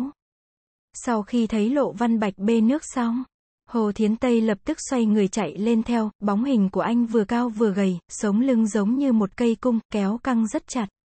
Sau khi lộ văn bạch đi về phía trước một đoạn, anh rẽ sang trái, đi. Đến trước hàng vòi nước ở phía sau phòng thiết bị. Thấy Hồ Thiến Tây đi theo, nét mặt của Lộ Văn Bạch lộ ra tia chán ghét, thanh âm lạnh lẽo. Đi theo tôi làm gì? Em đến rửa tay mà. Thanh âm của Hồ Thiến Tây dịu dàng. Tòa nhà chắn phía trước, phía sau có chút bóng dâm. Lộ Văn Bạch vừa mới bê đồ xong, tóc hơi ướt, thấy Thái Dương Anh đổ chút mồ hôi. Hồ Thiến Tây lập tức đưa giấy ướt cho anh. Lộ văn bạch mặt không cảm xúc liếc xéo cô một cái, thẳng thừng vặn vòi nước, dòng nước lạnh lẽo chảy rào rào ra ngoài, anh thò đầu qua đó không chút do dự, trực tiếp cho đầu xuống dưới vòi nước để gội đầu. Hai phút sau, một cánh tay trắng bệch đầy mạch máu xanh xám đặt trên vòi nước đã dì xét, tiếng nước chảy dừng lại. Lộ văn bạch chậm chậm đứng thẳng người dậy. Anh nghiêng mặt giơ tay vuốt nước trên tóc, những giọt nước nhỏ bé không may rơi vào tay Hồ Thiến Tây, cô cảm giác cả cánh tay đều tê dại. Lộ văn bạch mặt không cảm xúc bước lên trước, anh rẽ trái.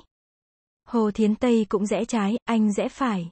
Hồ Thiến Tây cũng rẽ phải, hệt như viên kẹo dẻo không quẳng đi được vậy. Này, anh thích kiểu con gái như thế nào? Này, lộ văn bạch, Hồ Thiến Tây thấy Lộ Văn Bạch không để ý đến cô, bị tảng lờ một cách triệt để, chị đại tức giận, lập tức nhấc chân tiến lên trước muốn tìm anh nói cho rõ ràng. Không ngờ, Lộ Văn Bạch đột nhiên dừng lại, mắt nhìn chằm chằm phía trước. Lần đầu tiên Hồ Thiến Tây trông thấy một biểu cảm khác hoàn toàn trên gương mặt lạnh lùng ngàn năm không đổi đó của Lộ Văn Bạch.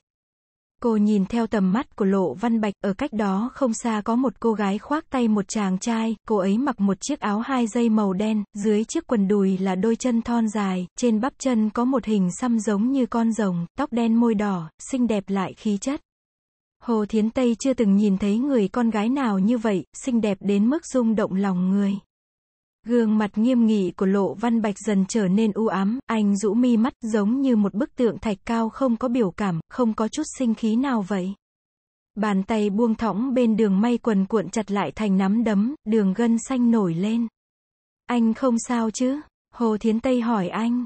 Lộ Văn Bạch đột nhiên quay lại, hai người cách rất gần nhau, anh cúi đầu nhìn Hồ Thiến Tây, khóe môi mỏng nhếch lên tạo một độ cong trào phúng, không phải cô hỏi tôi thích kiểu con gái nào sao? Tôi thích con gái gầy, vậy nên cô đừng lãng phí thời gian nữa, cô không nằm trong phạm vi lựa chọn của tôi. Cứ bám giết lấy người khác thật sự rất phiền phức. Lộ Văn Bạch thu lại ánh mắt khỏi người cô, sau đó rời đi thẳng.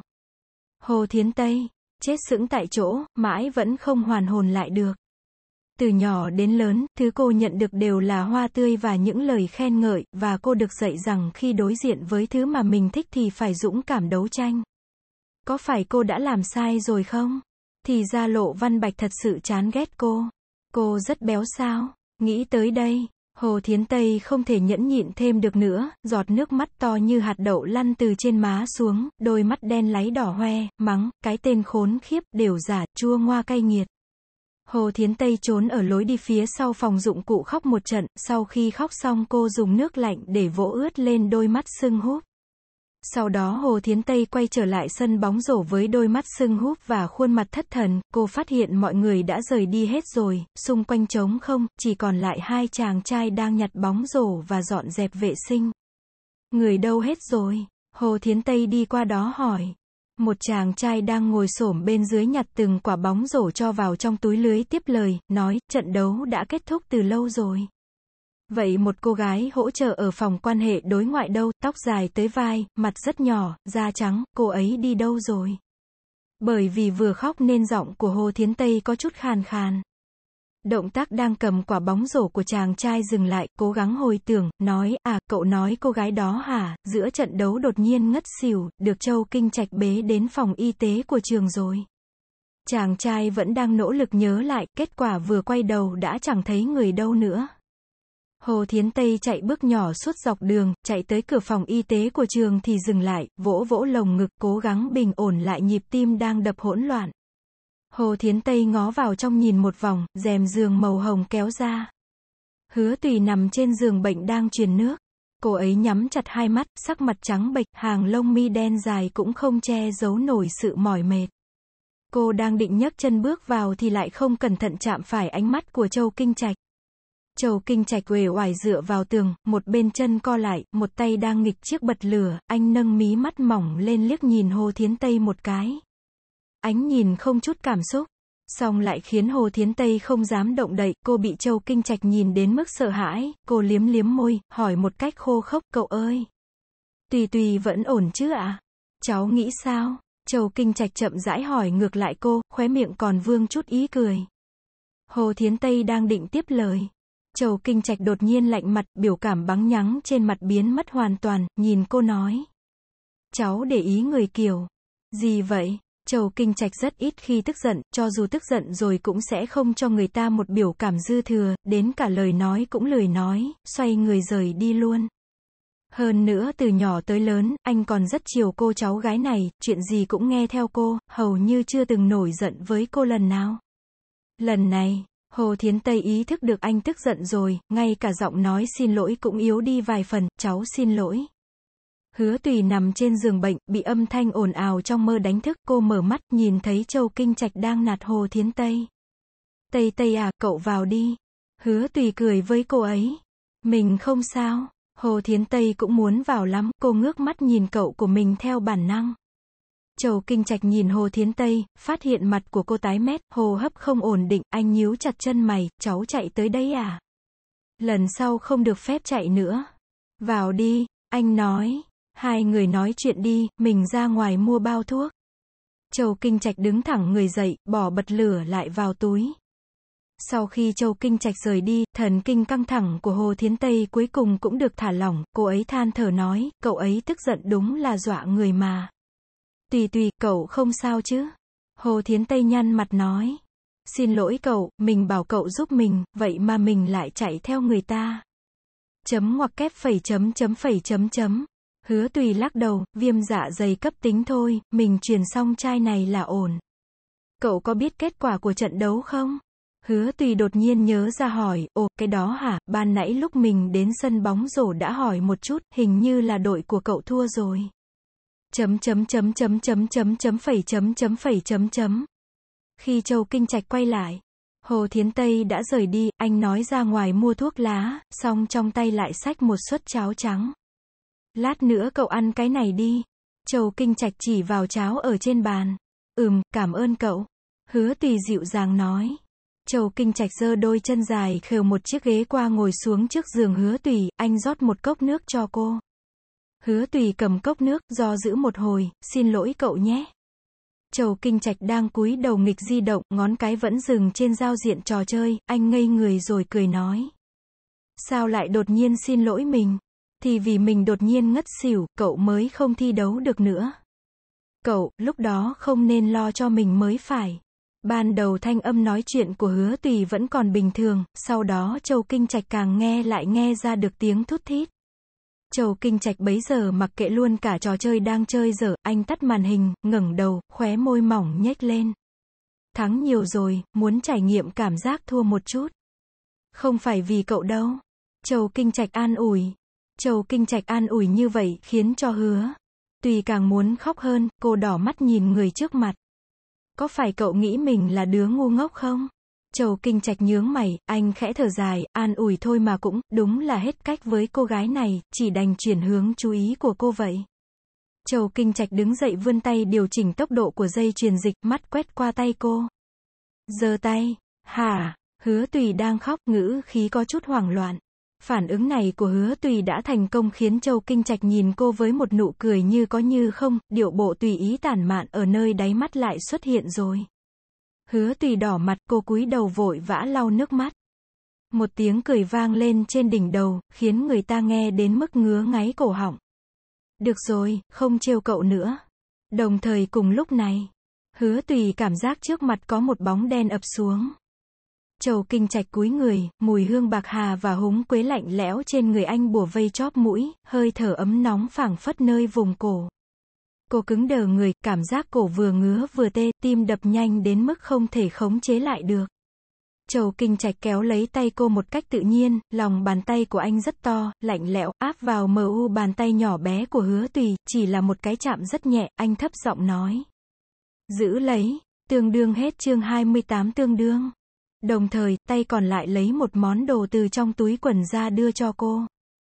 Hứa tùy cúi đầu nhìn, không biết Châu Kinh Trạch ra ngoài mua túi sưởi có hình con thỏ này về từ khi nào. Hóa ra anh đã chú ý tới mạch máu vì truyền dịch mà xanh tím hết lên của cô từ lâu. Hứa tùy nói một câu cảm ơn. Châu Kinh Trạch mỉm cười nhướng mày xong không đáp lại.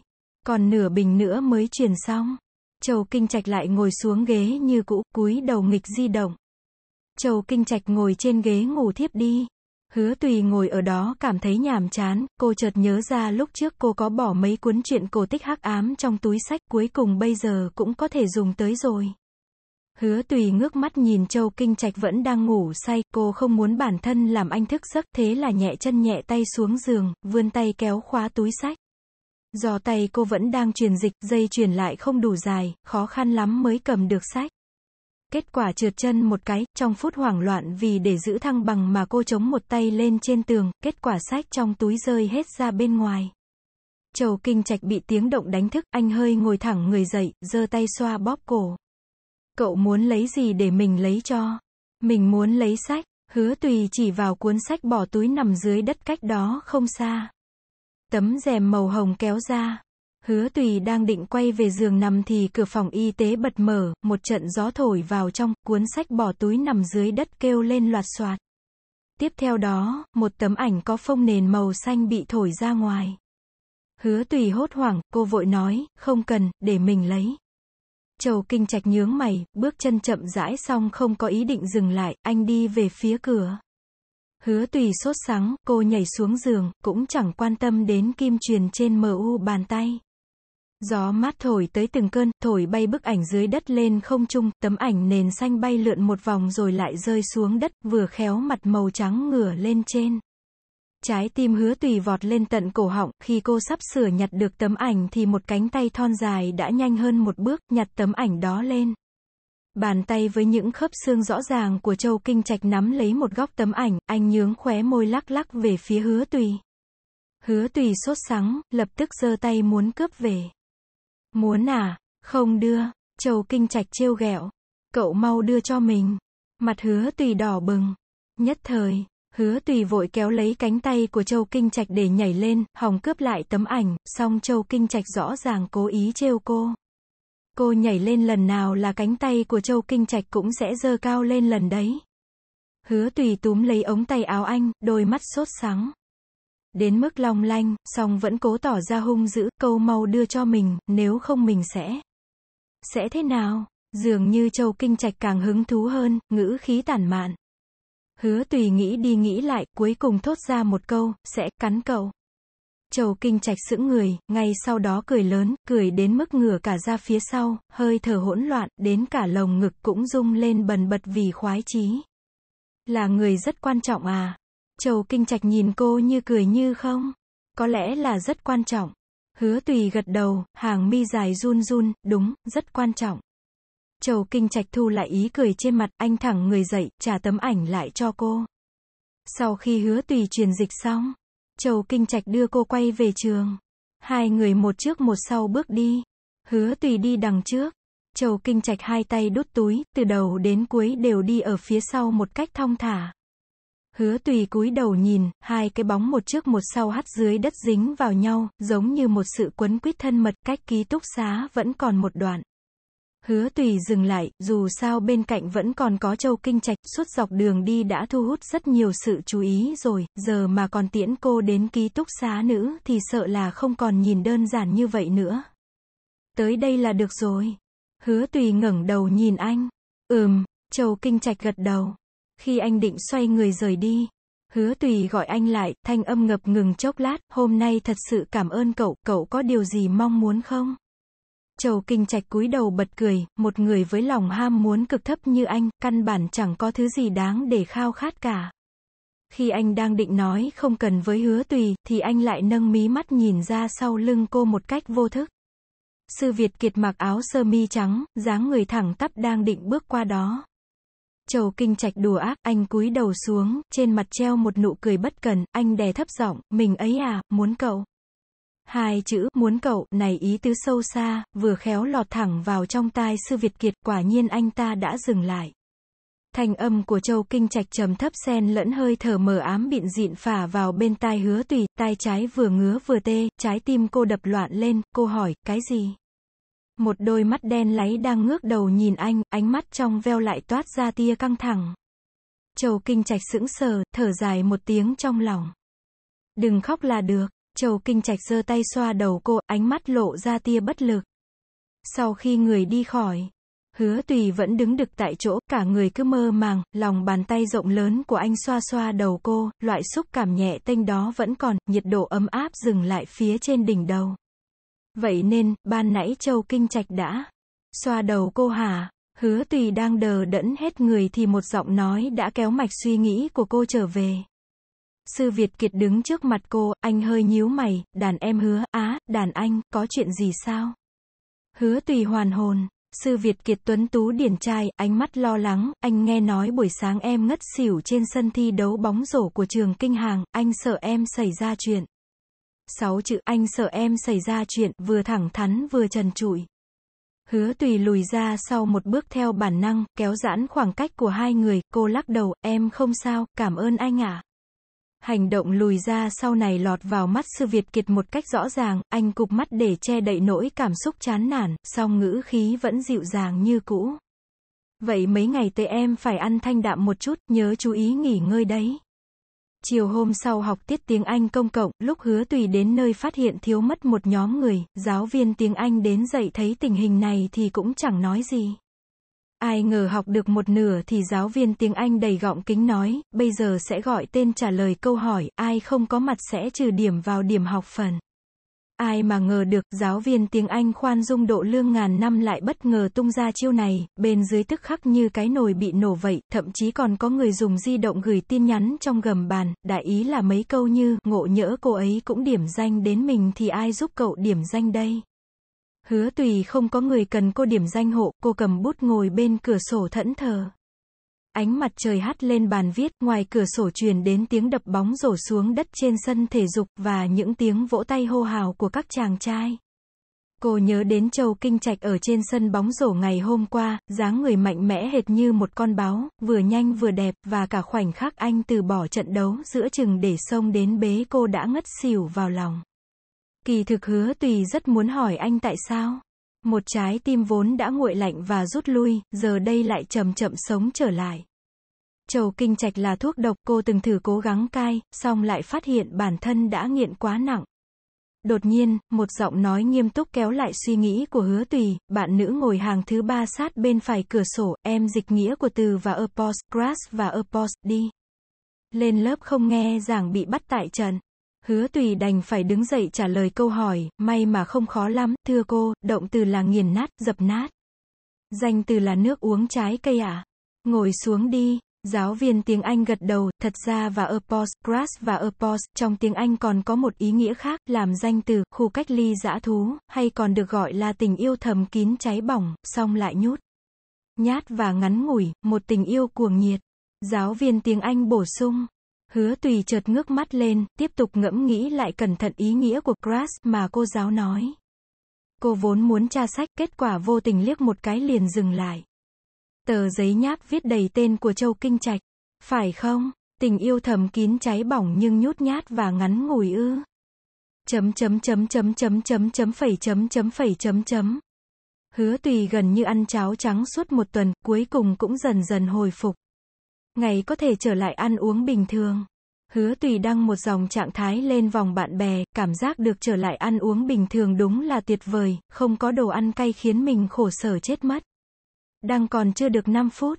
Đại Lưu là người đầu tiên bình luận, những bữa ăn không có em gái hứa, cứ luôn cảm thấy thiếu chút mùi vị.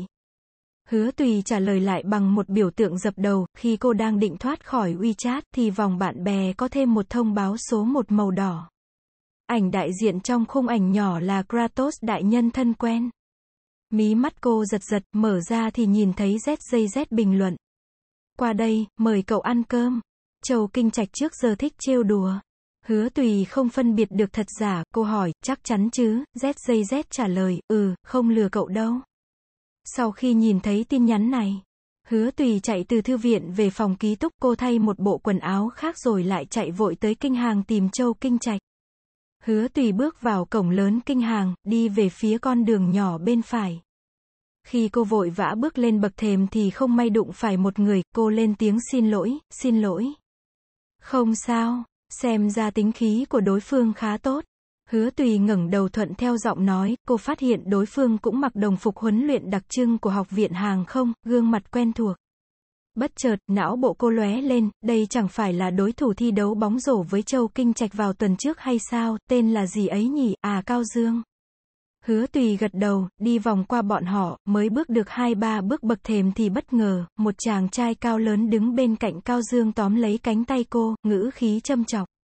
Chà, đây chẳng phải là hứa tùy sao? Giọng nói này quen thuộc tới mức không thể quen thuộc hơn được nữa, là người ác cảm nhất trong ký ức của hứa tùy. Cô ngước mắt nhìn, không ngờ lại là Lý Lâm, bạn cùng lớp khi cô học lớp 10 ở Lệ Ảnh. Hứa Tùy và Lý Lâm không thân, hồi đi học cậu ta thích nịnh nọt người khác, do vậy mới ngông nghênh coi mình là lão đại, tính tình xấu xa, thường xuyên bắt nạt những bạn học yếu đuổi nhỏ con trong lớp. Không ngờ cậu ta lại thi được tới đây. Hứa Tùy không hề muốn phát sinh quá nhiều liên hệ với loại người. Như Lý Lâm, cô gật đầu một cách vô cảm, sau đó giật tay ra khỏi tay Lý Lâm muốn rời đi, ai ngờ Lý Lâm lại càng siết chặt hơn. Hôm nay hứa tùy mặc một chiếc áo len dệt kim dáng ngắn màu tím nhạt, để lộ ra phần bụng phẳng lì thoát ẩn thoát hiện, quần jean màu xanh lam, mái tóc dài ngang vai suôn mượt buông lơi phía sau đôi tai tròn trắng ngần, mặt nhỏ bằng bàn tay, cả người toát lên một vẻ ngoan ngoãn mềm mại. Lý Lâm quan sát hứa tùy từ trên xuống dưới, cậu ta nhướng mày huyết sáo, giọng điệu hệt tên côn đồ, bạn học cũ à, giờ xinh đẹp quá nhỉ, để lại số điện thoại đi, sau này còn tâm tình chuyện cũ. Bất luận là giọng điệu nói chuyện hay hành vi vào giờ phút này của Lý Lâm, nó đều khiến hứa tùy cực kỳ không thoải mái. Nhân lúc Lý Lâm không chú ý, hứa tùy dẫm lên trên một phát kẻ bị đau lập tức buông tay. Hứa tùy vội bước lên trước, đồng thời để lại một câu, tôi với cậu không thân. Cao Dương nghe vậy thì nhìn về phía Lý Lâm. Lý Lâm bị câu nói này làm cho đỏ mặt tía tai, cậu ta không ngờ dưới lớp vỏ bọc ngoan ngoãn của hứa tùy lại giấu một cái gai mềm, khiến cậu ta bẽ mặt ngay trước mặt Cao Dương. Lý Lâm tức điên người, cậu ta hướng về phía bóng lưng hứa tùy hét lên, nhìn thấy chưa, cái điệu bộ này, bố người ta còn là liệt sĩ cơ đấy. Quả nhiên, khi câu này được nói ra, hứa tùy quả nhiên đã dừng bước, ánh mặt trời ấm áp của buổi chiều xuyên qua kẽ lá hắt xuống dưới, bóng lưng cô nhìn có vẻ bi thương. Ngay khi Lý Lâm tưởng mình đã gây khó dễ được cô. Hứa tùy quay đầu, ánh mắt lạnh lẽo, đáp trả một cách bình tĩnh, thật vậy, tốt hơn so với đứa con trai của nhà giàu mới nổi. Nhà giàu mới nổi, đã chọc thẳng vào nỗi đau của Lý Lâm một cách chuẩn xác, cậu ta bước ba bước thành hai bước lên bậc thêm, túm lấy cổ áo hứa tùy, hung ác nói, mẹ kiếp cậu vừa nói gì? Kể từ lúc Lý Lâm nhắc đến bố cô một cách vô lễ, mọi sự tốt bụng và lương thiện của hứa tùy đều bị rút cạn. Cô liếc nhìn Lý Lâm đang định lặp lại câu nói kia từ trên xuống dưới.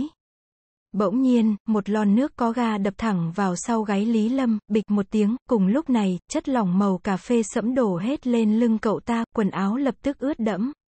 Lý Lâm ngẩng cổ, cánh tay buông thõng chậm chậm cuộn chặt thành nắm đấm, mẹ kiếp. Đứa nào làm vậy? Bố mày đấy. Một giọng nói uể oải kiêu ngạo truyền đến. Mọi người ngoảnh về hướng phát ra tiếng nói. Lý Lâm quay đầu. Châu Kinh Trạch đứng bên dưới cách bọn họ khoảng 10 bậc thềm, bên cạnh còn có mấy người bạn. Anh mặc áo tê sớt đen, quần jogger có khóa, đang nghịch chiếc bật lửa màu bạc trong tay.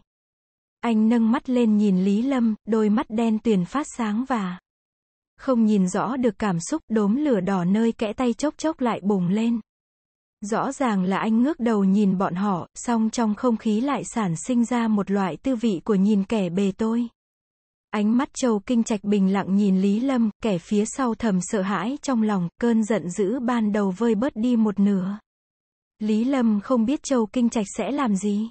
Cao Dương đứng bên cạnh, chủ động lên tiếng chào hỏi. Châu Kinh Trạch hai tay đút túi, bước chậm rãi thong thả lên trên bậc thêm, mấy chàng trai đi theo phía sau, phút chốc xuất hiện một khí thế mạnh mẽ. Lý Lâm lùi ra sau một bước theo bản năng, song không cam tâm làm kẻ yếu thế mà chừng mắt nhìn anh.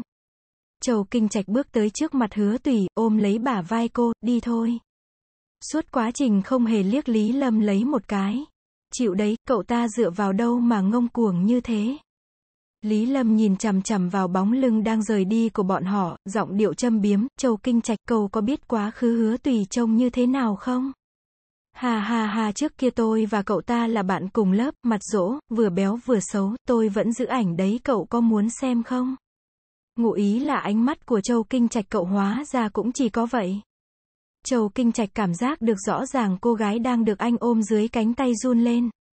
Anh dừng bước thu tay về xoay người, nhướng mày, một dáng vẻ giấy lên hứng thú. Thế à, đưa tôi xem xem. Lý Lâm bước lên trước hai bước, cúi đầu tìm di động, nào ngờ Châu Kinh Trạch tiến tới, đấm thẳng cho cậu ta một cú ngã vật ra đất, di động bị quăng ra tít đằng xa. Cục diện lập tức trở nên hỗn loạn, thấy Lý Lâm muốn bò dậy. Châu Kinh Trạch lại bồi thêm một cước. Thịnh Nam Châu và Đại Lưu vội vã giữ anh lại, song không ngăn nổi. Đôi mắt đen tuyền của Châu Kinh Trạch đè nén tia ác ý nồng nặc, đánh cậu ta cứ như thể phát điên rồi vậy. Thịnh Nam Châu sốt ruột đành phải hét lên, không được đánh. Còn đánh nữa là cậu sẽ bị phạt đấy, kỷ luật của học viện hàng không nghiêm khắc như thế nào cũng không phải cậu không biết. Lý Lâm bị đánh cho hoa hết cả mắt, cậu ta che lồng ngực thở hồn hển, chửi mắng, đờ em em. Tao nhịn mày lâu lắm rồi, vì một đứa con gái mà mày đánh cả bạn học. Mày đợi mà bị phạt đi. Lý Lâm lộ ra nụ cười đắc ý. Lý Lâm chỉ mong sao Châu Kinh Trạch bị phạt, cậu ta ngứa mắt tên này lâu lắm rồi. Châu Kinh Trạch ngồi vắt ngang trên người cậu ta, anh trực tiếp túm lấy cổ áo Lý Lâm, mắt nhìn thẳng, tốc độ nói rất chậm. Cho mày hai lựa chọn. Một, xin lỗi cô ấy. Hai, sau này nơi nào có tao thì mày phải đi đường vòng.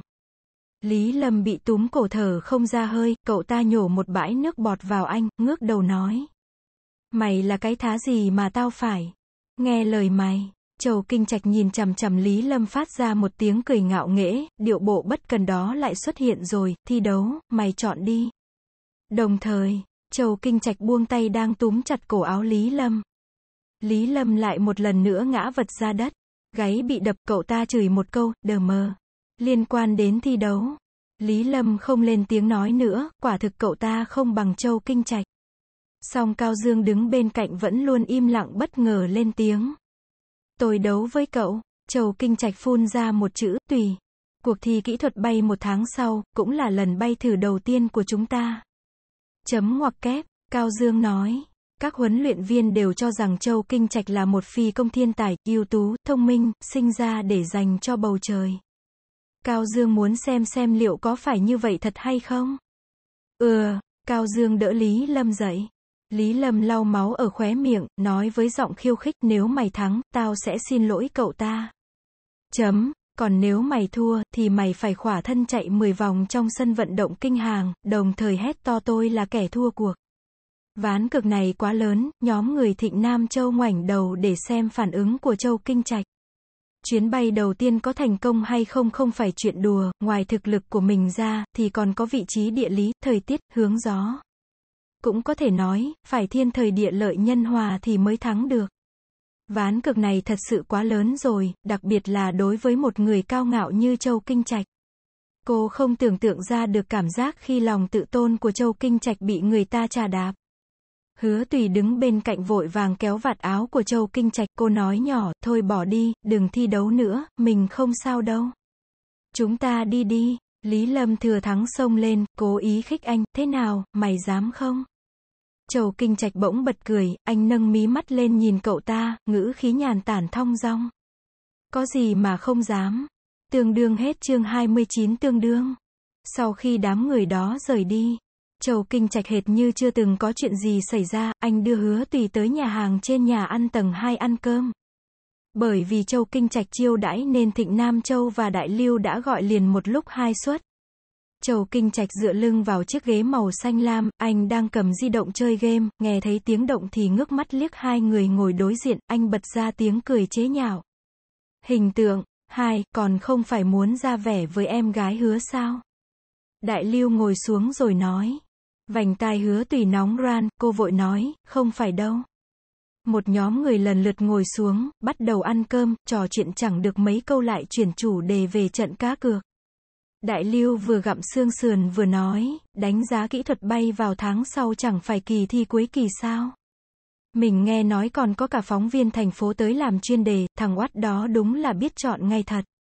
Thịnh Nam Châu nhớ tới Cao Dương với vóc dáng cao gầy, ngày thường không thích nói chuyện, ánh mắt lại còn có chút u ám kia thì ngán ngẩm, anh ấy cười lạnh một tiếng, thằng mọt sách đó bình thường có nỗ lực thế nào cũng đâu theo kịp được cậu. Kiểm tra bay giả lập và lý thuyết tiếng Anh lần trước cậu đứng thứ nhất đúng không? Có lẽ giáo viên đi đến đâu cũng khen cậu nên cậu ta cay cú. Châu Kinh Trạch nhíu mày, không có chút ký ức nào, không nhớ nữa.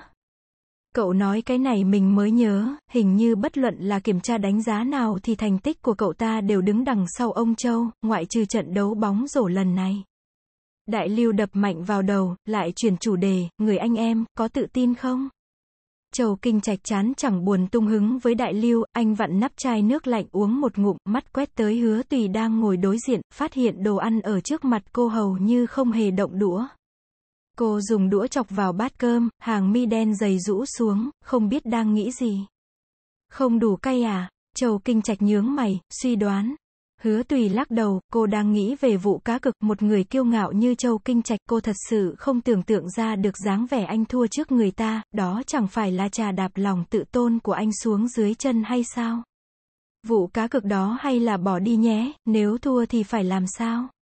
Hứa tùy lo lắng, Châu Kinh Trạch vặn nắp chai nước lại, nụ cười hờ hững lại mang theo chút kiêu căng, mình sẽ không thua.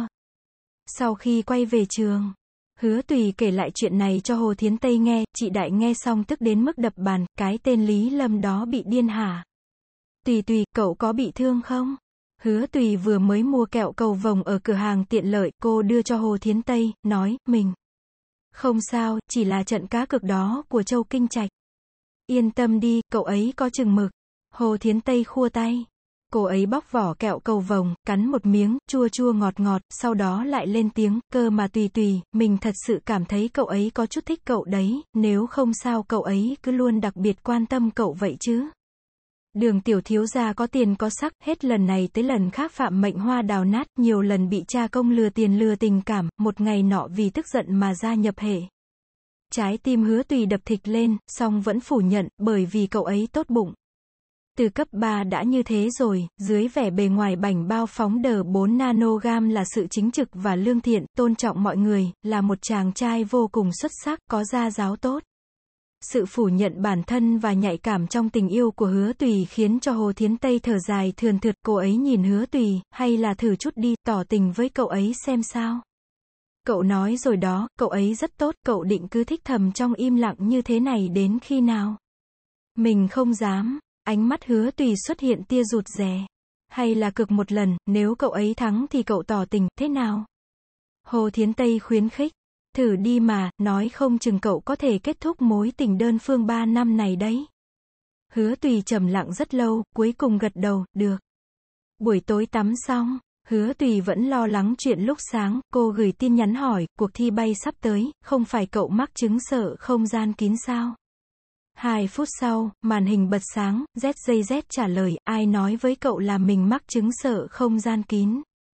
Hứa tùy do dự dây lát, nói, hồi cấp 3 mình nghe bọn họ nói. Dường như cách rất lâu sau ZJZ mới trả lời, không tính là sợ không gian kín, chỉ một chút thôi. Nói chính xác hơn thì là sợ không gian vừa tối vừa ngột ngạt mà cuộc thi tổ chức vào ban ngày. Hứa tùy đang định trả lời. Châu Kinh Trạch lại gửi tin nhắn nữa đến. Đừng lo lắng. Hứa tùy cuối cùng cũng thở phào nhẹ nhõm, cô bỏ di động sang một bên, ngồi vào bàn học với mái tóc vẫn chưa khô, cô bật đèn bàn, lấy một cuốn nhật ký từ trong ngăn kéo ra, bên trong kẹp một bức thư. Trên mặt giấy bức thư có một vài dấu vết, cũ kỹ lỗi thời. Hứa tùy miết một góc của bức thư nhìn nó hồi lâu. Bức thư này được viết khi cô bắt đầu thích thầm châu kinh trạch luôn hoang tưởng rằng một ngày nào đó có thể đưa nó cho anh. Song cô chưa bao giờ dám lấy ra. Đến tận bây giờ, thỉnh thoảng hứa tùy vẫn xóa và sửa lại lên trên giấy để viết thư. Dù cho thời đại ngày nay việc viết thư tỏ tình đã là một chuyện lỗi thời rồi. Thế nào, có tỏ tình không? Chi bằng cực một lần, sao sao sao? Ngày Giao hẹn thi đấu rất nhanh đã đến gần, bởi vì mấy ngày nay là ngày đánh giá cuối kỳ của Học viện Hàng không Kinh Bắc thế nên nhóm người hứa tùy lúc lên lớp thường xuyên nghe thấy âm thanh gầm rú trên đỉnh đầu, máy bay kéo theo đuôi vút qua mái nhà, bay vọt lên trời mây. Ngày diễn ra trận thi đấu giữa Châu Kinh Trạch và Cao Dương đã gây chấn động toàn học viện. Phong cách học tập của kinh hàng trước giờ luôn phóng khoáng tự do, sau khi nghe được trận cá cực của đám sinh viên, các giáo viên và nhân viên quản lý không hề lấy làm lạ. Trên sân bay của kinh hàng có rất nhiều giáo viên, còn có một phóng viên, một nhiếp ảnh gia. Thầy Trương và nhân viên quản lý nhìn nhau cười, thú vị thật, có một loại bồng bột non trẻ của chúng ta năm đó. Phóng viên Tống, đúng lúc ở đây có trận thi đấu, có tư liệu để viết báo rồi đấy. Thầy Trương cười khà khà, tiếp tục quay đầu nhìn nhân viên quản lý máy bay, nói. Lão cố, chúng ta cực đi, anh cực ai thắng? Đương nhiên là cực sinh viên của tôi Châu Kinh Trạch rồi. Nhân viên quản lý máy bay nói. Vậy tôi cực cao dương, thằng nhóc này cũng không tồi, rất nỗ lực. Trước khi trận đấu bắt đầu, một nhóm người đi đến phòng điều khiển, do Châu Kinh Trạch đã nói trước với giáo viên, mà lão cố lại thương anh, thế nên hứa tùy và Hồ Thiến Tây cũng được cho phép cùng vào trong phòng điều khiển, theo dõi toàn bộ trận đấu này. Trong màn hình, Châu Kinh Trạch mặc đồng phục phi công màu xanh lam, quần đen, trên vai là logo máy bay được thêu bằng chỉ vàng, đôi mắt dưới vành mũ đen tuyền sắc bén, cổ anh thẳng tắp, trên gương mặt lạnh lùng nhếch một nụ cười thoải mái dễ chịu, khiến cho anh trông vừa tiêu sái lại vừa đẹp trai ngời ngợi. Đây là lần đầu tiên hứa tùy thấy Châu Kinh Trạch mặc đồng phục phi công chính thức cách màn hình, đôi mắt cô không chớp, nhìn đến mức tim đập lên thình thịch. Phi công tập sự và giáo viên hướng dẫn cùng nhau bước vào buồng lái máy bay, khoảnh khắc Châu Kinh Trạch ngồi xuống, anh nhanh chóng quét mắt kiểm tra một loạt các thiết bị trong buồng lái. Cảm giác em không căng thẳng chút nào. Giáo viên hướng dẫn cười nói. Châu Kinh Trạch cắn một cây bút đánh dấu, hạ chán buộc tập tài liệu trên đầu gối lên đùi phải, nhếch khóe miệng, em giả vờ đấy. Giáo viên hướng dẫn, mới đầu, Châu Kinh Trạch còn có chút căng thẳng, song khi máy bay khởi động, bắt đầu trao đảo rồi chậm chậm cất cánh, tâm trạng căng thẳng lo lắng của anh đã vơi đi đôi chút. Những giáo viên ở bên ngoài màn hình xem Cao Dương cất cánh trước. Đường bay thử nghiệm này không dài, bay từ trung tâm thành phố Kinh Bắc tới Đồng Quang, thành phố sa mạc, rồi sau đó bay ngược trở lại theo đường. Bay cố định, Máy bay của Cao Dương là T-789018, còn Châu Kinh Trạch là máy bay dân dụng J-588017, hai chiếc máy bay lần lượt bay lên bầu trời. Sau khi máy bay cất cánh êm ái và không bị rung lắc, AOP, chế độ lái tự động, bắt đầu được khởi động. Châu Kinh Trạch thở phào nhẹ nhõm, anh vừa xem số liệu trên bảng thiết bị, vừa đánh dấu vào tập tài liệu trên đầu gối, thoăn thoắt như gió. Nhưng tiếc là cảnh đẹp không kéo dài được lâu, khi lái được nửa chặng đường, máy bay xuất hiện sự cố kỹ thuật. Bảng điều khiển hiển thị nhiệt độ của dầu động cơ số 3 quá cao, trang động cơ xuất hiện tin cảnh báo.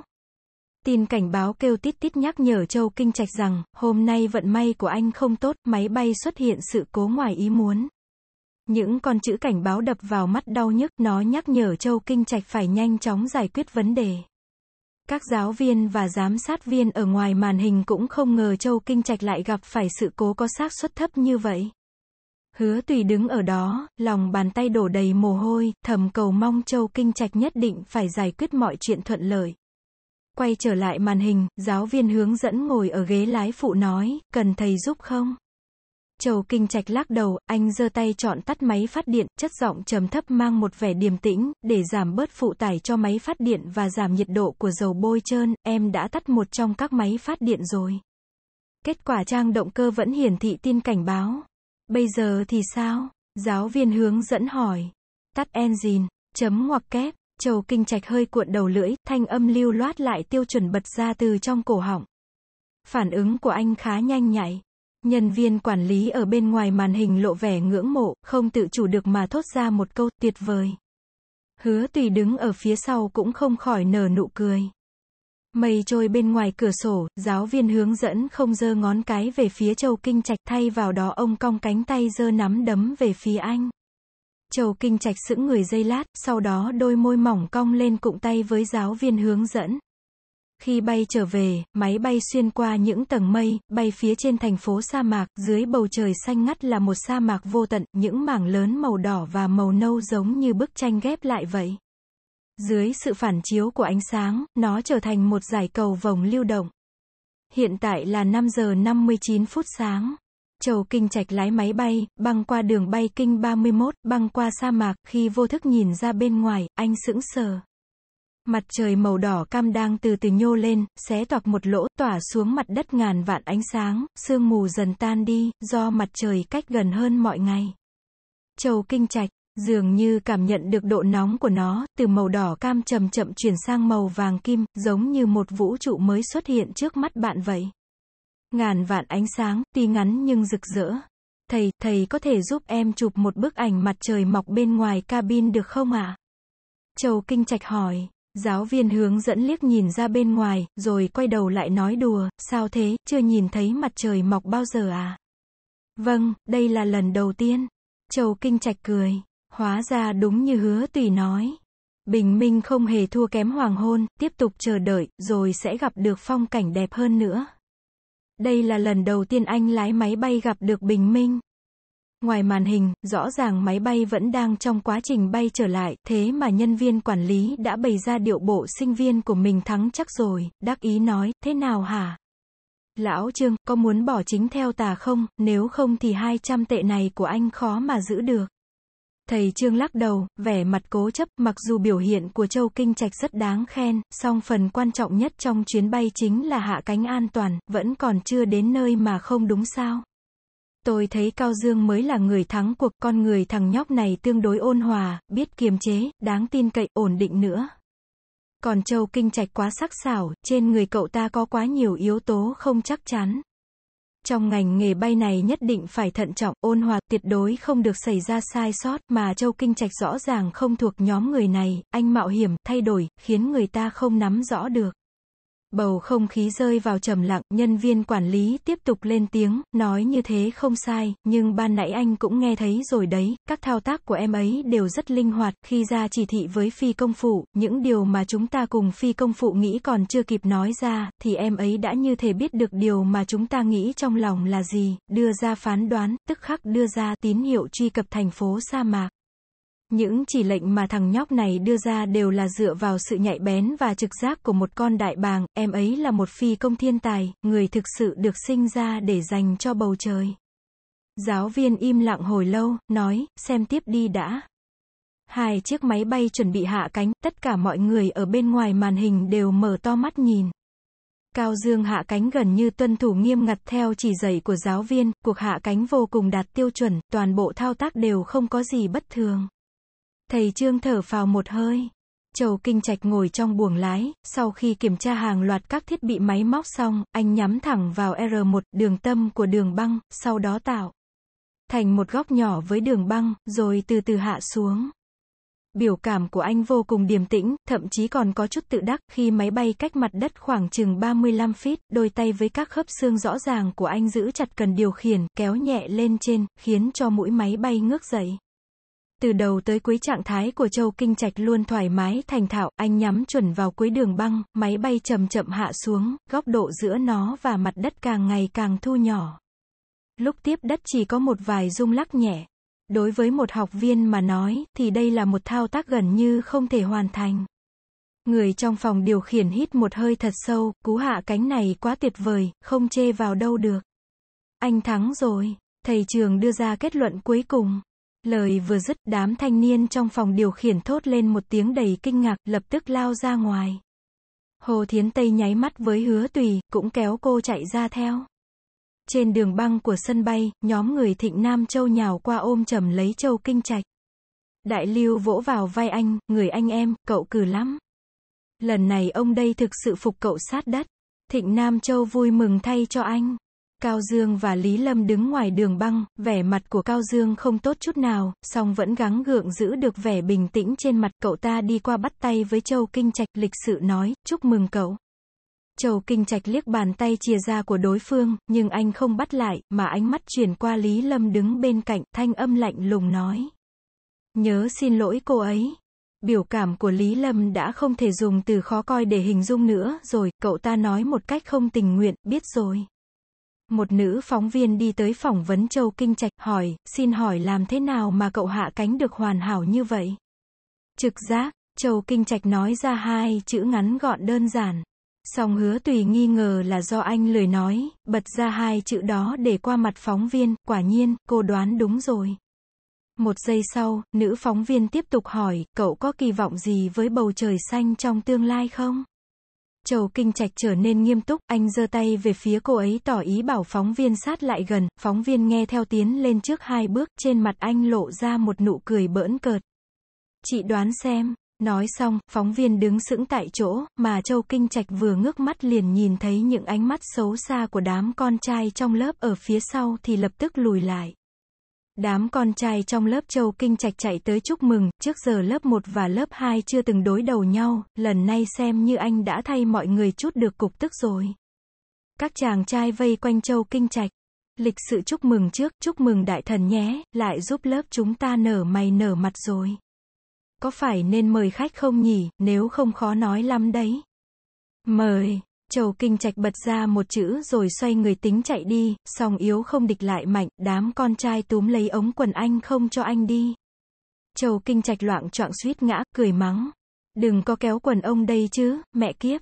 Một nhóm con trai tung châu kinh trạch lên không trung, còn hô cả khẩu hiệu. Lớp một giỏi nhất, châu kinh trạch muôn năm. Lên nào, toàn bộ bầu trời đều là của chúng ta. Chấm ngoặc kép phẩy chấm chấm phẩy chấm chấm. Châu Kinh Trạch giữ quần, lời nói ra còn mang vài phần bắn nhắng, được rồi, trên máy bay không sung sướng như các cậu nghĩ đâu, ông đây sắp nôn rồi. Giữa chừng, có một sinh viên chuyên ngành đo vẽ bản đồ đi qua, cười trêu nói, ai cũng nói bay trên trời là lính trẻ, song ở mặt đất xem ra không ổn lắm nhỉ. Đấu một trận là biết ngay thôi. Dù sao trên mặt đất các cậu cũng phải chạy. Châu Kinh Trạch nhướng chân mày, ngữ khí kiêu ngạo. Những chàng trai khác trong lớp được đà, nói, đúng vậy, đều là động vật tự đi bằng hai chân, sao lại còn phân biệt đối xử ngành nghề thế? Thế này đi, lấy vạch trắng này làm điểm xuất phát, ai chạy tới được lá cờ đỏ kia sẽ giành chiến thắng, sao hả? Được thôi, một, hai, ba, chạy. Rõ ràng đây là trò chơi ấu trĩ nhất của đám con trai, song họ lại chơi rất hăng say. Ánh nắng chói chang, có chút nhức mắt. Hứa tùy giơ tay che mắt lại, nhìn về nơi cách đó không xa. Không biết Châu Kinh Trạch đã cởi bỏ áo khoác từ lúc nào, anh lao về phía trước như một mũi tên, có cơn gió thổi qua, thổi phồng một góc áo của anh, hệt như cánh buồm trên biển khơi vậy. Khi sắp tới vạch đích, Châu Kinh Trạch ngược lại giảm dần tốc độ, anh xoay người chạy ngược hướng gió, thiếu niên khí thế bừng bừng, còn giơ ngón giữa về phía đám người kia, sau đó lộ ra một nụ cười đầy ngạo nghễ. Lá cờ đỏ phấp phới trong gió sau lưng anh, hơi thở trên người châu kinh trạch vừa mạnh mẽ vừa ngông cuồng, là kiêu ngạo bất cần, song cũng khiến người ta rung động. Cơn gió cuốn quanh lá cờ là chàng thiếu niên. Hứa tùy nhìn đến mức trái tim như sắp nhảy ra khỏi lồng ngúc, lần nay tim đập nhanh hơn bao giờ hết. Về tình cảm dành cho Châu Kinh Trạch cô không ngừng tự mình nghi ngờ, nhạy cảm, tự ti, cô luôn tự mình kéo giữ, bấp bênh thăng trầm. Nhưng lần này, cô muốn được đến gần ánh sáng một lần. Ngộ nhỡ bắt được thì sao? Yêu thầm giống như đám rêu xanh, kín đáo, khô héo úa tàn trong chờ đợi, nhưng khi gió vừa thổi, là lại nhen nhóm này nở không ngừng. Crush không phải là tình yêu thầm kín cháy bỏng nhưng nhút nhát ngắn ngủi, mà là tình. Yêu thầm kín cháy bỏng nhưng nhút nhát và dài lâu, là động từ tiếp diễn. Sau khi nhóm bọn họ chơi trò chơi xong, các giáo viên đi tới trước mặt đám con trai đang đổ đầy mồ hôi, cười nói, các em đều phải cố gắng đấy. Các chàng trai cúi chào đáp lại, song vẫn nghịch ngợm vô cùng, tuân theo lời dạy của cấp trên. Giáo viên chỉ vào bọn họ cười bất lực, sau đó lấy ra một chiếc huy chương và một bao lì xì đưa cho Châu Kinh Trạch, lão Trương bảo thầy đưa cho em, huy chương cũng là của em, khắc tên của em, là phần thưởng của cuộc thi lần này. Châu Kinh Trạch nhận lấy lì xì và huy chương một cách thản nhiên, đầu lưỡi ấn chặt hàm dưới, cười nói, cảm ơn thầy. Lão cố, sau khi giáo viên rời đi, Châu Kinh Trạch cầm lì xì khua khua tay, tỏ ý hứa tùy đi qua đó. Hứa tùy và Hồ Thiến Tây chạy bước nhỏ tới trước mặt bọn họ. Hứa tùy ngước đầu nhìn Châu Kinh Trạch trong mắt chứa tia sáng lấp lánh, chúc mừng cậu nhé. Vẫn phải cảm ơn cậu, cho cậu đấy, cầm đi mua kẹo đi. Châu Kinh Trạch cười một cách thản nhiên, anh đưa lì xì cho cô. Dưới ánh mắt dò xét của mọi người. Hứa tùy cũng không biết lấy đâu ra dũng khí, cô lắc đầu, ánh mắt lộ vẻ căng thẳng, mình muốn chiếc huy chương kia cơ, bốn. Ngay khi câu này được nói ra, đám đông bắt đầu hò hét. Thịnh Nam Châu hóng hất đổ dầu thêm lửa, nói, cô giáo tiểu hứa, bài đánh giá của mình vẫn còn chưa bắt đầu, mình cũng có chiếc huy chương này, sao cậu không muốn của mình chứ? Suy cho cùng cũng là một cô gái da mặt mỏng kỹ tính cẩn thận. Châu Kinh Trạch trầm lặng hồi lâu không lên tiếng, đôi mắt sâu hun hút nhìn chằm chằm vào cô, trên mặt không có bất cứ biểu cảm nào.